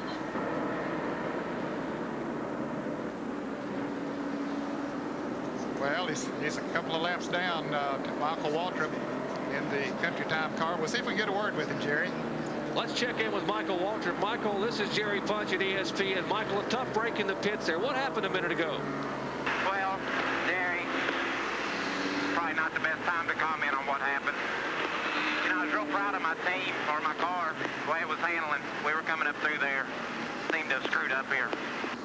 Uh, tough break for Michael Waltrip. He pulls the car back behind the wall, and that's uh, those things happen. Apparently, they they thought there's so much noise, and you've heard Benny Parsons trying to talk in the pits over that rumble and noise here in the infield as the cars go by, and apparently a miscue in the pits. They were unable to get the lug nuts fastened on the left front, and Michael trying to get back out without losing a lap, and they have a tough break here for the defending Kroger NASCAR 200. Let's check in the pits with Benny Parsons. Jerry, I'm with, the, I guess, a dejected Rick Mast is the best I could say. Just know where to go, Rick. One of those uh, lap cars we have trouble with every week. Jumped in front of me off of four, and I was on the gas and run up on him. We got ready to go into one. He motioned me to the outside. He went to turn down. By the time he turned down, he just stopped, and there it was. I hit him. We turned and we wrecked. You look like you had a winner tonight. Well, I thought I was pacing myself. But I guess not. Rick, better luck next time. Well, you know, the Raven Boats Buick's been fast for the last three months. Just stuff like this keeps happening. We'll be okay. Jerry, back to you. A tough break for Rick Mast. We are under caution for the fifth time today. Showing the way, car number 31, 27-year-old Steve Grissom from Gadsden, Alabama. Stay tuned. Lots of laps to come. We'll be back. If you love cars, you'll love Auto Week, the news weekly of motoring. Every week, Auto Week puts you inside the world's most exciting cars. GTs, sports sedans, collector cars, 4x4s, front drivers. Auto Week makes you an insider with industry news, personality profiles, old cars, columnists, the best classified anywhere. And nobody covers racing like Auto Week. You get the fastest coverage of Formula One, sports cars, stockers, Indy cars. It's all in Auto Week, the news weekly of motoring every week. Call 1-800-354-6100 for this ESPN Race Weekend special and get Auto Week at our lowest price ever, just $17.95 for 52 issues. But do it now. This offer expires Monday, August 13th. Get Auto Week at the lowest price ever. Call 1-800-354-6100. Ayrton Senna has regained the point-standing lead from arch rival Alain Prost. Prost will stop at nothing to get it back. The battle resumes at the Grand Prix of Hungary Sunday morning at 7.50 Eastern live on ESPN. Tonight's SpeedWorld coverage of the NASCAR Kroger 200 is brought to you by Olympic, the family of stain products that protect your home from damage rain can do. Olympic stops the rain by Levi's 505 and 506 jeans and by non-toxic biodegradable Simple Green, the clean solution. Back at Indianapolis Raceway Park for our ESPN SpeedWorld coverage of the NASCAR Kroger 200. We are under the caution flag for the fifth time today. There are 18 cars in the lead lap net, and it's been an exciting race thus far. Yes, it has. Steve Grissom in car number 31, of course, leading the race. And Jerry, he didn't pit during this caution. In fact, he last pitted on lap 65. Now, he can make it as far as fuel is concerned, but we wonder about the tires on that car. Most of the other cars behind him have new tires on their cars, and normally, as we said earlier, those new tires run better here. Well, Steve Grissom has a fellow working in his pits by the name of Steve Bird. And many of you people who follow Busch Series racing remember that Steve Bird, or Birdie as he is known, was the crew chief last year when young Rob Moroso became the youngest ever Busch Series national champion at age 21. And Bird, who left the Moroso team after Rockingham this year on the Winston Cup Tour and decided to come back to Busch Series racing, now works for that car number 31, the Grissom Racing Enterprises effort, the Big Mama Meat Snacks Oldsmobile. And Grissom has been impressive since Bird came on board. Yes, he has. He has been gaining every week. Here's Ernie Irvan, who is running in second place. Now, he also chose not to pit during this caution, no- nor neither did the car number 56, which is being driven, of course, by Dave Mader. Dave Mader III now taking over for Ronald Cooper, the family-owned operation there. That's LD Ottinger, the Detroit Gaskets car, the Ron Parker-owned machine. And that, of course, is Davey Johnson, the car number 26, the rookie driver from Imperial, Pennsylvania, who qualified on the front row. He is being shown in the fourth spot. LD Ottinger, of course, a lap down. There's Davey Allison right behind him. Davey is also a lap down, running in 25th position. Let's check in the pits with Benny Parsons. Benny? I'm Jerry. I'm with Ronnie Silver, the crew chief on Michael Walters, Country Time Pontiac. What happened? Just miscommunication? No, we had it out, we had it all figured out what was going to do for the four tire change. The boy on the rear, his socket was either wore out or something that wouldn't take the lug off. And no matter what you done, it wouldn't take it off. So we had to put those back on. Then when he came back, the boy went to do the left side while we was, while my guy's still doing the right rear, and he took the left front off. We had to let him down go to try to keep him getting lapped. The left front come off. Had some problems. Worst thing, I guess, pit stop that ever happened. Jerry, some problems down here. Tough break for Michael Walter Pierre in the lap set after half past the halfway point. We'll back after this from our sponsors. Mom, dinner here tonight. No problem. Got a lot of things to clean. You need Simple Green for bathrooms, kitchens, appliances, carpets and upholstery. Non-toxic, biodegradable, concentrated Simple Green cleans just about everything. Simple Green, the only cleaner you'll ever need. Nothing beats it. Nothing beats it. The one and only. Nothing beats it. The clean, the crisp, the cold. The king of beers. Nothing beats a bud. Nothing beats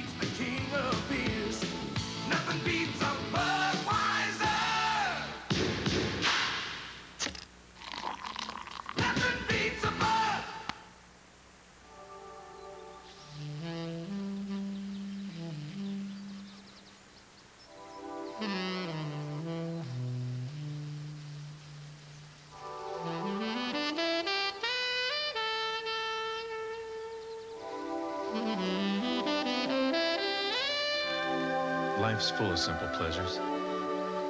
Like the comfort of Levi's jeans. Or had you forgotten?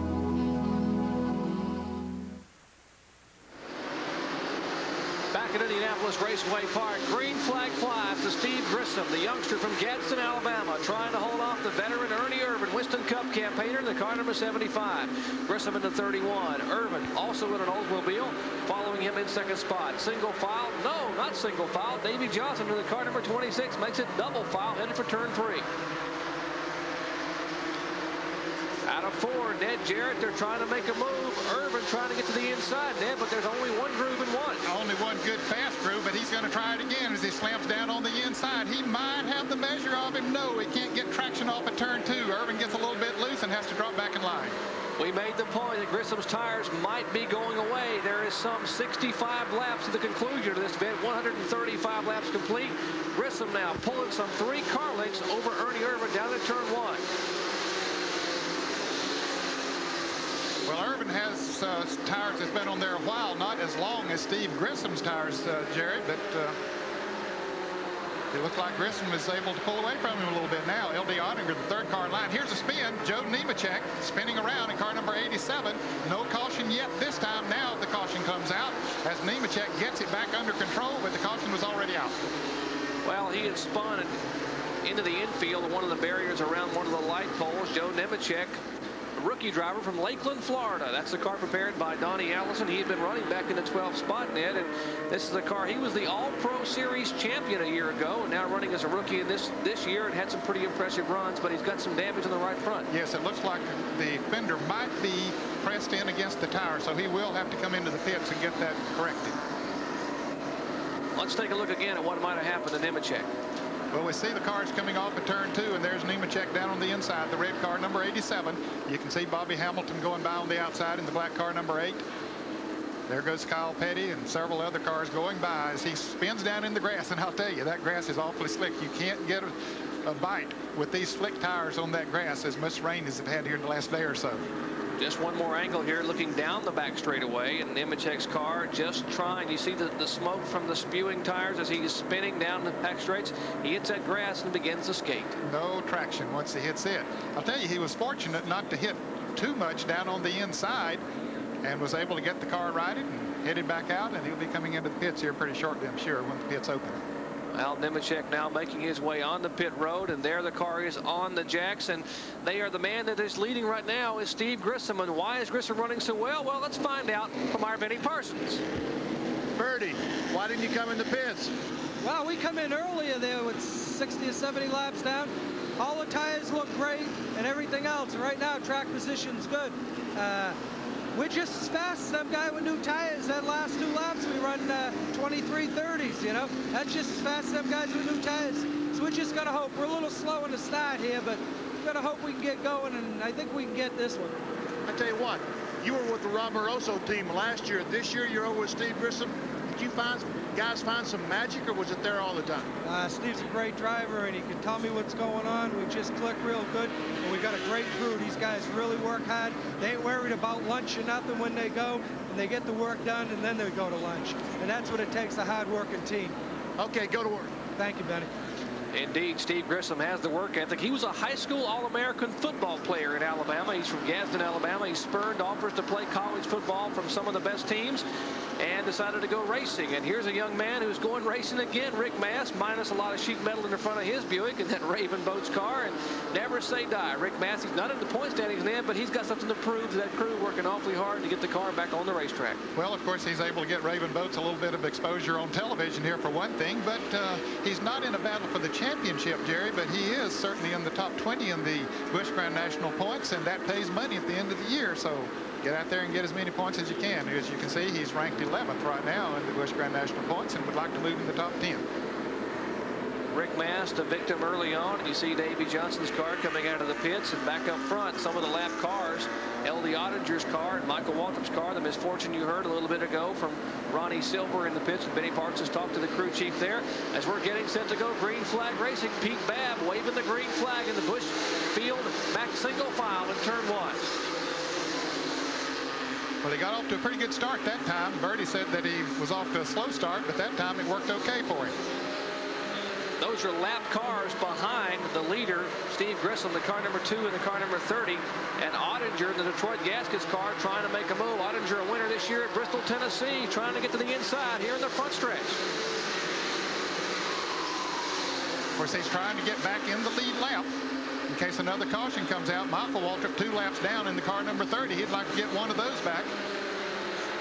Either one of those drivers could be in contention if they could get back in the lead lap. Michael Waltrip, who started back in 16th spot and was up to third prior to having that problem in the pits, now showing two laps down. Those cars running single file behind Steve Grissom. Ernie Irvan's got to be sitting back there pounding the wheel. He just has nowhere to go as Michael Waltrip now pulls on the inside of L.D. Ottinger, makes the pass. Here comes Irvan. He just drives her deep down on the inside. Didn't stick too good for him, but I believe he will be able to get around L.D. Ottinger. Well, I think Michael Waltrip kicked the door open and Ernie snuck through before L.D. Ottinger could close it. And now the car number 56, Dave Mader, trying to get to the inside. His car will not stick on the bottom of the track and slides back up in behind Ottinger. Mader running in the third position. That's the fourth and fifth place cars back there you saw a moment ago. That was Pressley in the car number 59. Back up front, the lead car is Grissom, and he's getting a lot of heat now from the lap car of Michael Waltrip. Pontiac of Waltrip trying to get to the inside and one car spinning. That is Mader, The third place car has looped it through the infield and he is dodging light poles, spinning it around in the dark. Caution flag comes out and Michael Waltrip will get by Steve Grissom get one of his laps back. A great move by Michael Waltrip and Mader now finds his way back through the infield, taking a couple of pass. Agricultural Racing back up off the grass. There is Mader, the four-time short track champion for the All-American Challenge Series. And that car was running in third spot. And there's Michael Waltrip, the other man who just had the fans on their feet as he was able to get one of his two laps back. And don't count him out. A lot of racing yet to go. More than 50 laps remaining. And Michael Waltrip in about a 10-lap period here has gotten one of those laps back. So, hey, he might get that other one back and uh, be right back in the thick of this thing. Let's see if we can find out what happened to Dave Mader now. He was in third place trying to get underneath the lap car of Ottinger. And it looked like they touched just a little bit, Jerry, as they came off of turn two. And around he went, down on the inside. The field goes by on the outside.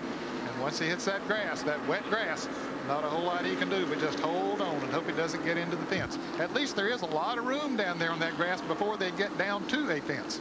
Well, there are no spectators allowed in the infield here at Indianapolis Raceway Park, and uh, they're just uh, the pit areas and a wide open spaces and a few cameramen, a few of our ESPN cameramen doing the dipsy doodle down there trying to dodge uh, the Buick, uh, but a great job. And uh, now tell me, as a driver, do you really have your eyes open when this kind of thing's happening in the pits, in, in the infield? Well, you know, a lot of times you'll hear drivers say, well, I just closed my eyes and hope for the best. There wasn't a great deal that he could do because that grass is so wet. And, of course, these tires without tread on them don't get a lot of attraction, so it, it makes it uh, very tough to do much about it. How about it, Benny Parsons?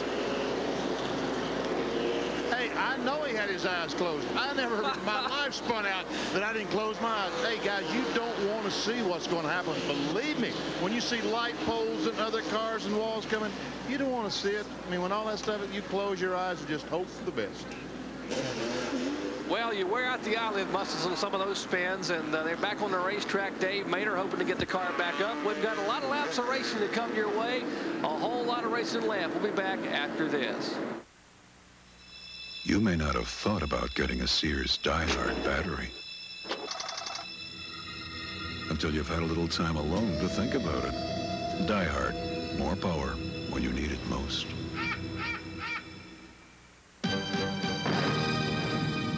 Extra strength Rolaids, 250 milligrams stronger than Tums EX.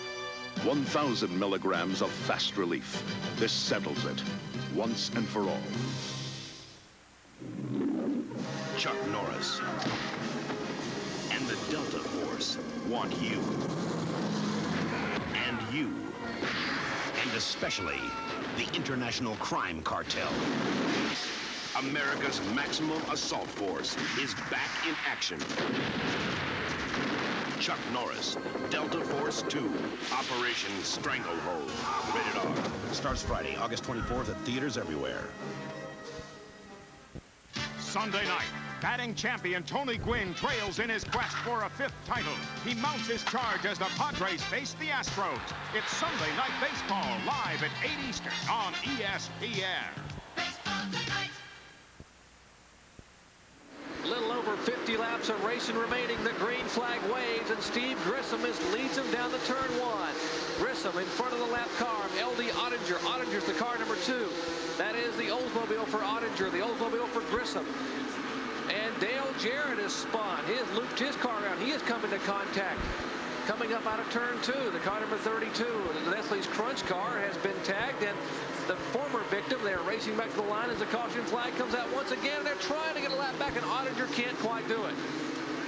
Well, Dale Jarrett was running in the seventh position, got tagged going into turn one and looped the Nestle's Crunch Pontiac. We'll see how much damage is done to it if he's going to be able to continue on around. Looks like some sheet metal hanging off the rear. There is Dale Jarrett.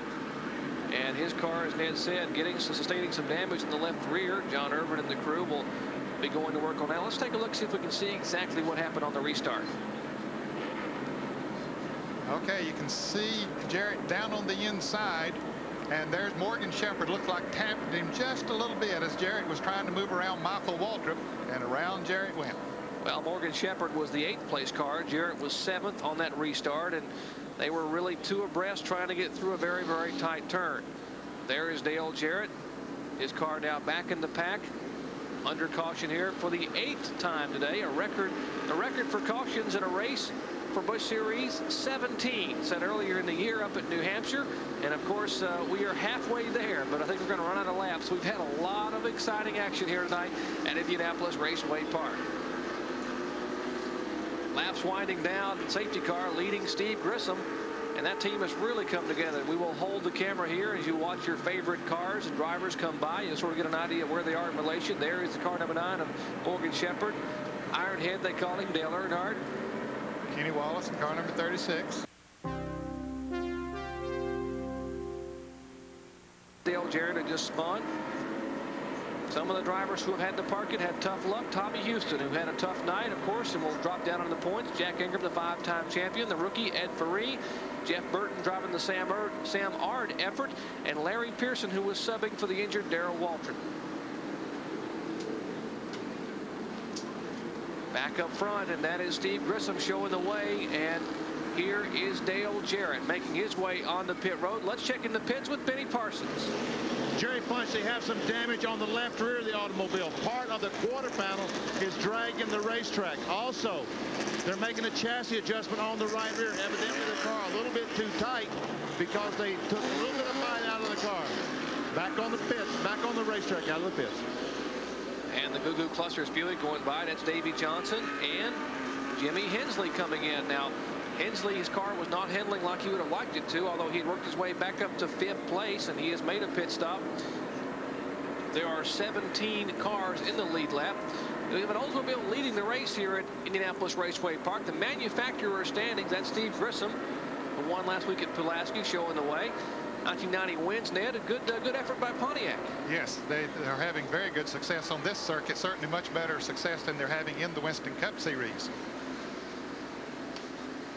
For the one win, that Mark Martin coming at Myrtle Beach just after uh, Mark's outstanding effort at Daytona.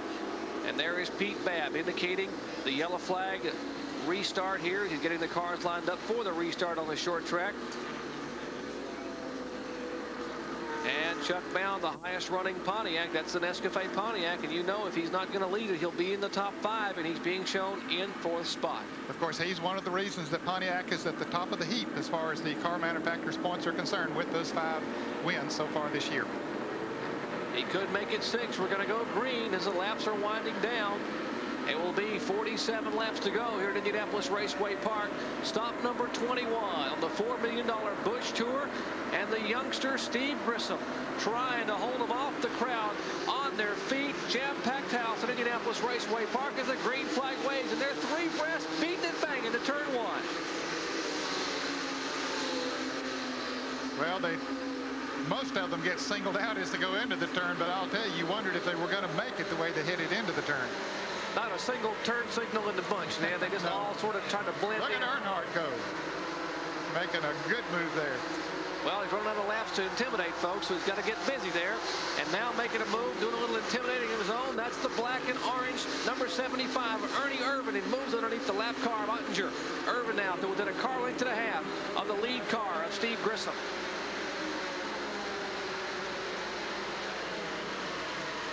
Well, he's beginning to put a little pressure on him. Has he been holding something back? Back in the pack, Morgan Shepherd, the three-time winner here in the Chevrolet, going three abreast underneath Chuck Bown. Shepherd in the car number nine, the Texas Pete car. The Pontiac of Chuck Bown just to his right side, and Shepherd is literally hanging that car on the ragged edge. And now up front, they're waging war for the lead. Yes, Ernie Irvan, a little sheet metal contact as they come off of turn four. Let's see, can he do it? He leans on him going into turn one. Can they make it? He continues to lean on him as he comes off of turn two, but Grissom holding on to the outside groove and holds on to the lead. Well, they say in the movies, rubbing is racing, and they're racing here at IRP tonight. Well, I'll tell you, there is racing everywhere. I don't why people bought seats tonight because no one is sitting down. They literally are on their feet here watching as Earnhardt now tries to make a move inside of Robert Pressley. Out of turn two, the Goodwrench Chevrolet moving inside. The car number 59, he makes the move. Yeah, pretty impressive pass there. He just got down there and uh, drove right on by on that tough inside groove. The drivers have been told by their crew members laps are winding down. No need for tires, no need for fuel. Just hold the pedal down and turn left. Let's make an impressive show. Now Earnhardt on the move. Now that's Michael Waltrip in the car number 30. He had gotten one of his laps back a minute ago and now is trying to make a move inside of Ernie Irvan. Yeah, he'd like to pass Ernie and then of course get up there and pass Steve Grissom, then hope for another caution and he would be back in the lead lap and back in the thick of the battle. Morgan Shepherd is on the move. That is the car to the left of your screen. The car number nine, the Texas Pete colors. Shepherd starting back in the pack, not having a good qualifying effort. That car back in 19th spot. Well, there's Grissom out front, but look at Morgan Shepherd back there in the yellow car. He tried to make it three deep, but that didn't quite work. Morgan Shepherd was trying to mix it up with Michael Waltrip. He lost some spots now. Michael Waltrip, that car is a lap down. But he won this race a year ago from the pole. Looked to be very impressive in the Ronnie Silver prepared car. Morgan Shepherd now trying to move to the inside of Kyle Petty. Now Shepherd has peeled some of that sheet metal loose in the front of that Chevrolet Lumina he's driving. A little bit of flapping sheet metal on the right side. The fender after that contact a minute ago with the Pontiac of Michael Waltrip. Now you see some of the sheet metal as he's trying to make a move inside of Kyle Petty. And there's Dale Earnhardt trying to move up on the outside of him. Three great drivers, Winston Cup drivers, battling it out here at the Indianapolis Raceway Park. Shepherd hanging tough down on the inside, but he hasn't been able to get around Kyle Petty. Now, is he going to lose a position? No, he's back up there. Now he gets traction. They bang together a little bit coming off the turn. They bang together there again, but Shepherd gets the pass. But Kyle Petty's not going to give up that easy. Gives him a little love tap there on the back bumper. But Shepherd now, look at the sheet metal on the right front of that Chevrolet. But uh, still going strong. That's the fourth, fifth, and sixth place cars. And there's the leader, of course, Steve Grissom showing the way. Laps are winding down. He is trying to win it at IRP. A few laps left. It's going to get hot. Stay tuned. You may not have thought about getting a Sears Die-Hard battery until you've had a little time alone to think about it. Die-Hard, more power when you need it most. If you love cars, you'll love Auto Week, the news weekly of motoring. Every week, Auto Week puts you inside the world's most exciting cars. GTs, sports sedans, collector cars, 4x4s, front drivers. Auto Week makes you an insider with industry news, personality profiles, old cars, columnists, the best classified anywhere. And nobody covers racing like Auto Week. You get the fastest coverage of Formula One, sports cars, stockers, Indy cars. It's all in Auto Week, the news weekly of motoring every week. Call 1-800-354-6100 for this ESPN Race Weekend special and get Auto Week at our lowest price ever, just $17.95 for 52 issues. But do it now. This offer expires Monday, August 13th. Get Auto Week at the lowest price ever. Call 1-800-354-6100. It's getting wild here in the lane, waning laps at Indianapolis Raceway Park. Dale Earnhardt trying to make a move inside of Kyle Petty. That would be for the fifth spot.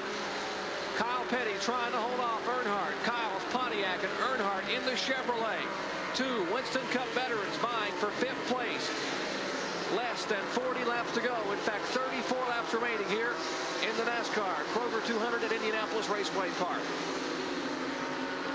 Earnhardt tried him down on the inside like Morgan Shepherd did, but he was not able to make that pass. And here's a spin. Jimmy Hensley, car number 25, spinning around. We'll watch from the inside as he tries to refire the car. Apparently the engine went dead. The caution is out. And now he gets it fired, gets it in gear, and heads around, but the caution is out. What a great shot from inside our CarQuest cage cam there. You saw Hensley. You could see nothing out of the windshield, and he has simply tried to push the car to get it refired. And through all the smoke, he put the car back in gear, clutched it, got it fired, and has moved away. And here's a car that has spun out up in turn three, the car number 34. Of course, that's Jack Sprague. Jack Sprague. Apparently came in pretty good contact with someone, Jerry, and then spun. In turn three, the caution was already out. He is a rookie competitor. That's the Frank Cicci racing car that the John Junk prepared machine that was driven last year by Jimmy Spencer. Moved on to the Winston Cup ranks. Caution flag again for the ninth time here. Let's take a look at what happened with Jimmy Hensley. Okay, there he is, just uh, cruising right along. And it looks like he let go of the wheel for just a moment. He was on the inside of Elton Sawyer in car number 27. And you can see his hand come off of the wheel as he grabs all the steering wheel he can get, Jerry, as the car is spinning around. Of course, he didn't want to cross his arms over, and we see him reach down for the gear shift. And then the car died. He's looking now for the starter to refire the engine. And there he is on the track, ready to go again. Well, textbook spin. They tell you in the driver's meeting, the NASCAR drivers are told, don't try to turn the car back up into traffic. It'll come across the racetrack and you'll end up getting T-boned. And he didn't. He listened very well and got the car refired. Our leader is Steve Grissom. An impressive performance for this young driver. Let's check in the pits with Benny Parsons. Jerry Punch, Steve Bird, the crew chief on the Steve Grissom automobile, told us a moment ago they don't want to see caution flags. And he was right. In about two laps, as he said, he pulled away from Ernie Irvan by what? Half a straightaway. And what, guess what? Another caution flag comes out. Steve Grissom looks like he's got the car to win, but he needs a break. If he can just keep it green for a few more laps here, just 32 laps to go, he may be able to get his second win in a row. Two wins in two weeks for Steve Grissom. He's showing the way here. This capacity crowd enjoying every lap of it, as you will when you stay tuned. We'll be back. Days of Thunder, this summer's most exciting movie. Now get a rare on-location look as NASCAR goes Hollywood. It's an insider's look at auto racing and movie making with exciting behind-the-scenes footage available only on this ESPN home video. NASCAR goes Hollywood, the making of Days of Thunder, only $19.95. Order yours today. Call 1-800-255-8300. Call now and you can have 13 weeks of the Wall Street Journal and this valuable 120-page guide to understanding money and markets. That's 13 weeks of the journal for the news and ideas you need every business day. And this guide free, which tells you everything you want to know about money and markets, now for only $34. Call toll-free 800-832-8700. Today's Wall Street Journal. Faster, tougher, smarter. Call 800-832-8700 now. Back at Indianapolis Raceway Park, 174 of 200 laps complete. Steve Grissom, Ernie Irvan, Chuck Bown, Kyle Petty, and Dale Earnhardt in the top five. We'll show you 6 through 10. Pressley Wallace, Rezendes, Elton Sawyer, and Ed Berrier. Morgan Shepherd, had been running so well after starting back in the pack in the Texas Pete car, was up to fourth place, has had his troubles here. He was in the pits a moment ago for an unscheduled stop, and you see that sheet metal in the front of the car, Ed, they had their trouble. Yes, they did. They had to pull that sheet metal away. The NASCAR officials looked at it and said it was rubby, and the green flag is out now. Shepherd back in the field at the back of the pack. Green flag waves, the ninth caution flag of the day over, and Shepherd is in the back of the pack. Will have to hurry if he's going to get back up front. They're two by two through the first couple of turns. Here as the laps are winding down. There's Kyle Petty and Dale Earnhardt being shown in the fifth spot. Back up front. The car number 31, that's the leader. That's Steve Grissom. But behind him, the Pontiac is on the move. That is Michael Waltrip, who was two laps down. It's now still a lap down, but would love to have a chance to get around. And Waltrip drives it right against the wall in turn one. Boy, he's trying his best to get back in the lead lap. He might have it this time, Jerry. Let's see. He's going to have to lean on him a little bit, but he don't mind doing that because he knows how important it would be if another caution should come out. He could get back in the lead lap, but not this time. Michael Waltrip, four Busch Series wins, two this year. He won at Richmond, Virginia after sitting on the pole, and he won at Dover, Delaware. Driving the car number 30. Now that's the second place car number 75. The black car in your screen, that's Ernie Irvan. So Grissom the leader, then the lap car of Waltrip, then Irvan. Now making a move on the inside. Car number 42, that's the battle for third spot. Kyle Petty takes the move inside of Chuck Bown. Now Kyle Petty has a little fresher tires on his car than does Ernie Irvan and Steve Grissom. Michael Waltrip has fresher tires than any of them, and it looks like it's working for him. But will he be able to get around Grissom and get back in the lead lap? There's Chuck Bown, and there's Earnhardt back in the fifth spot. Michael Waltrip is going to have to hustle less than 25 laps. It'll be 21 laps to go. 179 complete that time by everyone jostling for position. Billy Standridge in the car number 47, battling along with beside the car number 99, former series champion Tommy Ellis.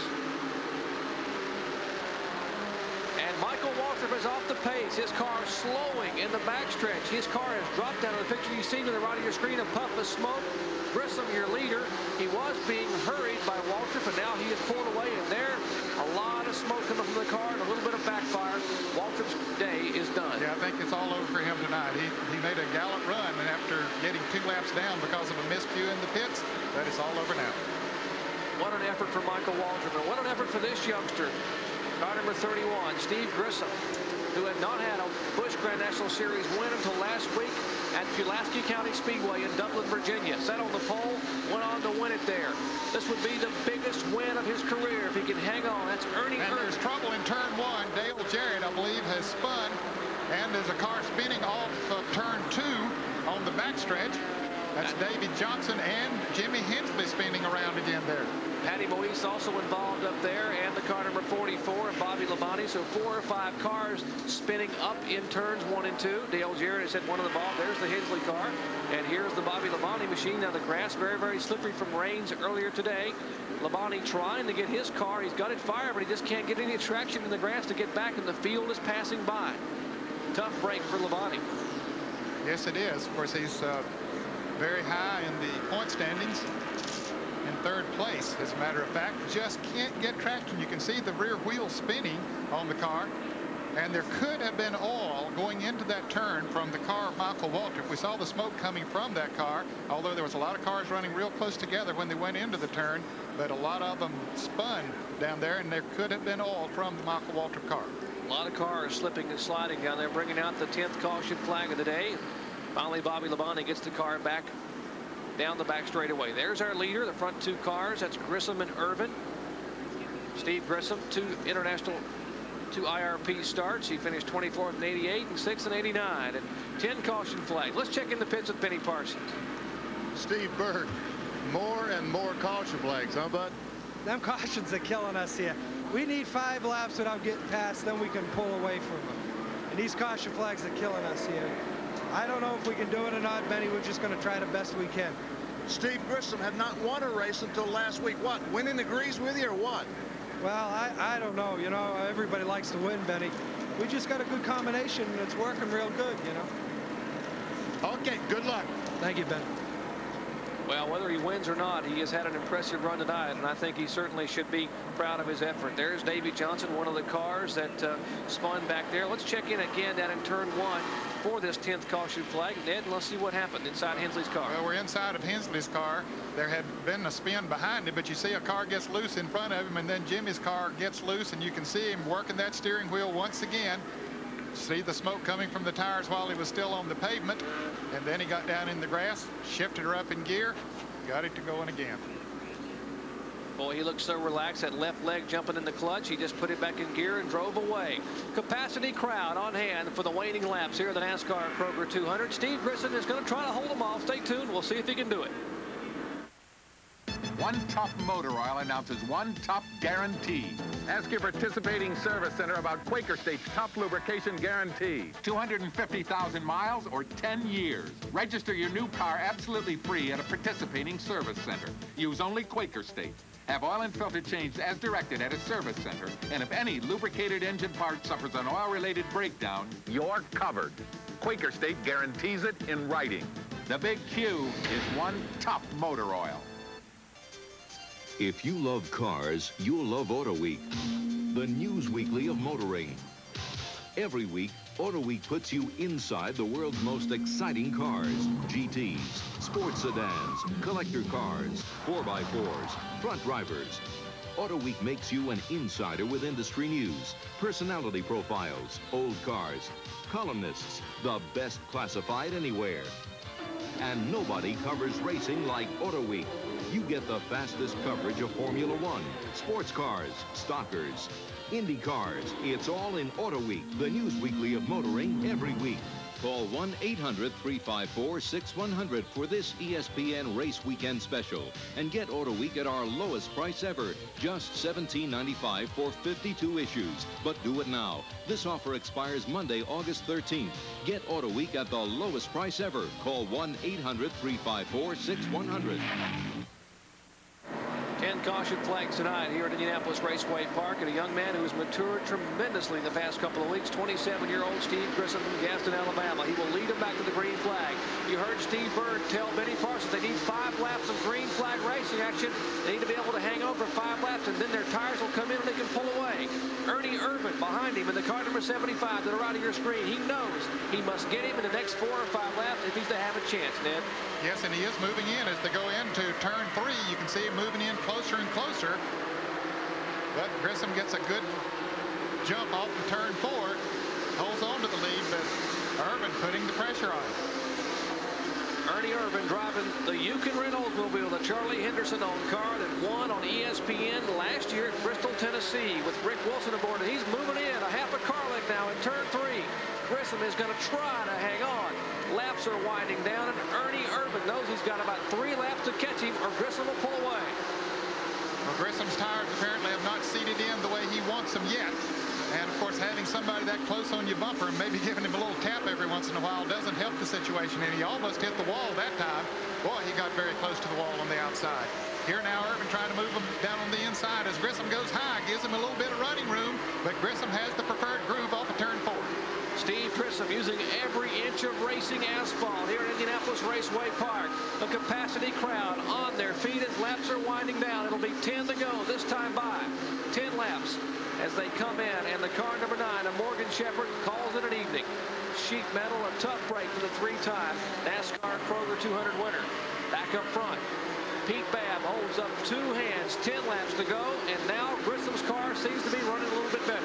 Yeah, I think he's settled down a little bit, Jerry. The tires have come in for him. He is able to make a better line around the racetrack. You see him pull away a little bit as he comes off of the turn that time. The car didn't kick out as much as it has before.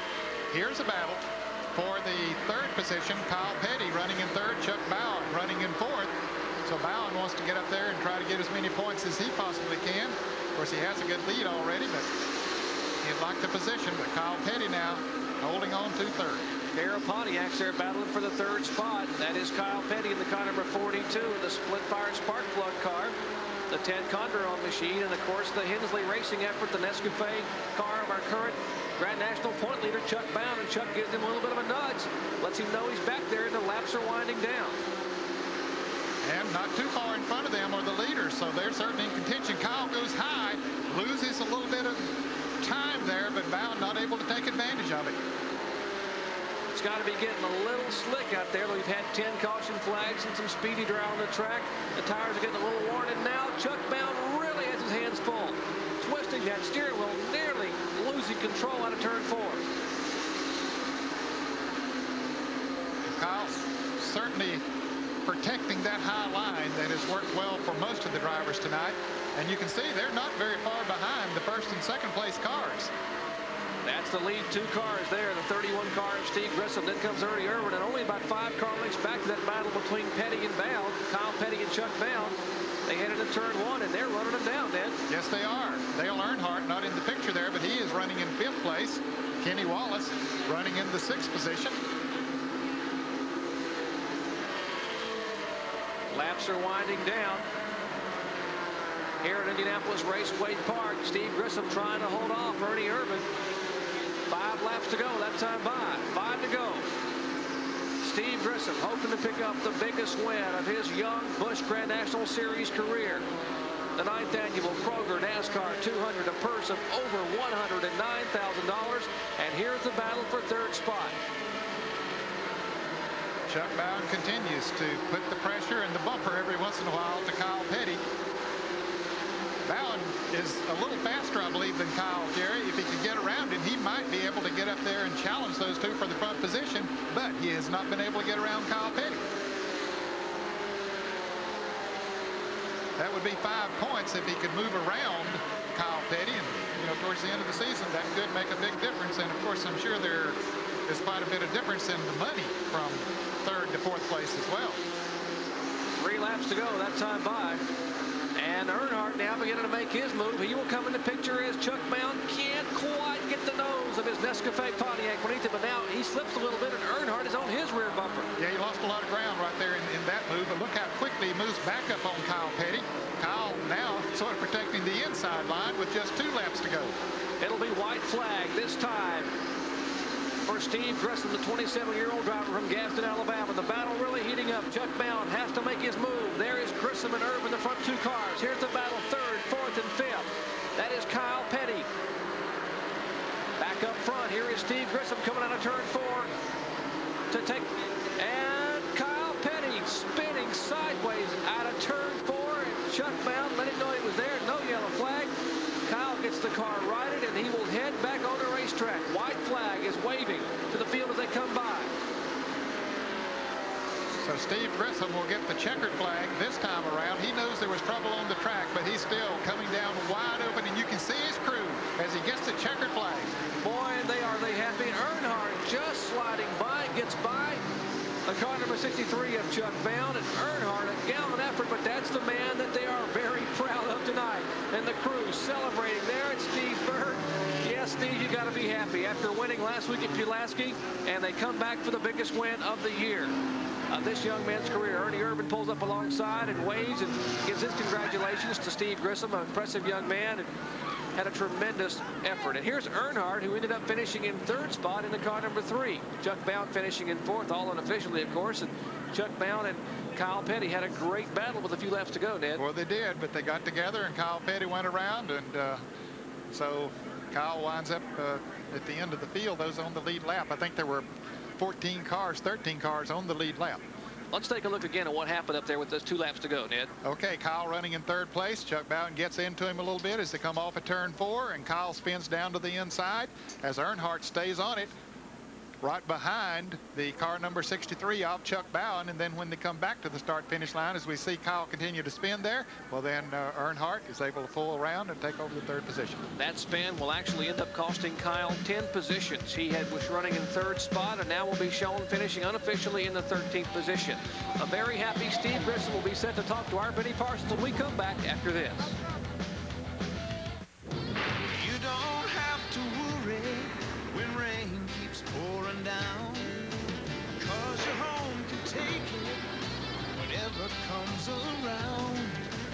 Introducing Olympic Water Guard for Wood, the one water sealant that goes beyond water repellency to resist sun damage, fight mildew, and strengthen wood. It's no wonder, it's no wonder we'll stop the rain. Olympic stops the rain.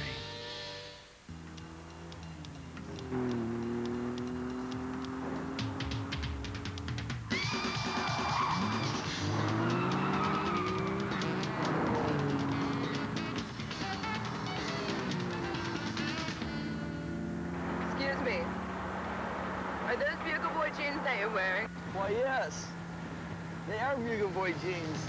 Thank you.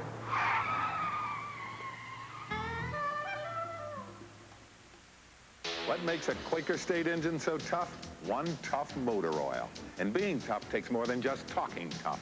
There's a brand that says it's been engineered for smaller engines, while Quaker State has been tested tough for small engines in Japan, in Europe, and in America. In fact, Quaker State has toughed out the most demanding specs for every size engine in every size car sold in the U.S. What makes any size Quaker State engine so tough? Quality engineered Quaker State. The Big Q is one tough motor oil. You may not have thought about getting a Sears Die-Hard battery until you've had a little time alone to think about it. Die-Hard, more power when you need it most. Back at Indianapolis Raceway Park, the ninth annual Kroger NASCAR 200 is history, and Steve Grissom has won it. Let's go down trackside for our Sears Road Handler Winter Circle interview and Benny Parsons. Benny?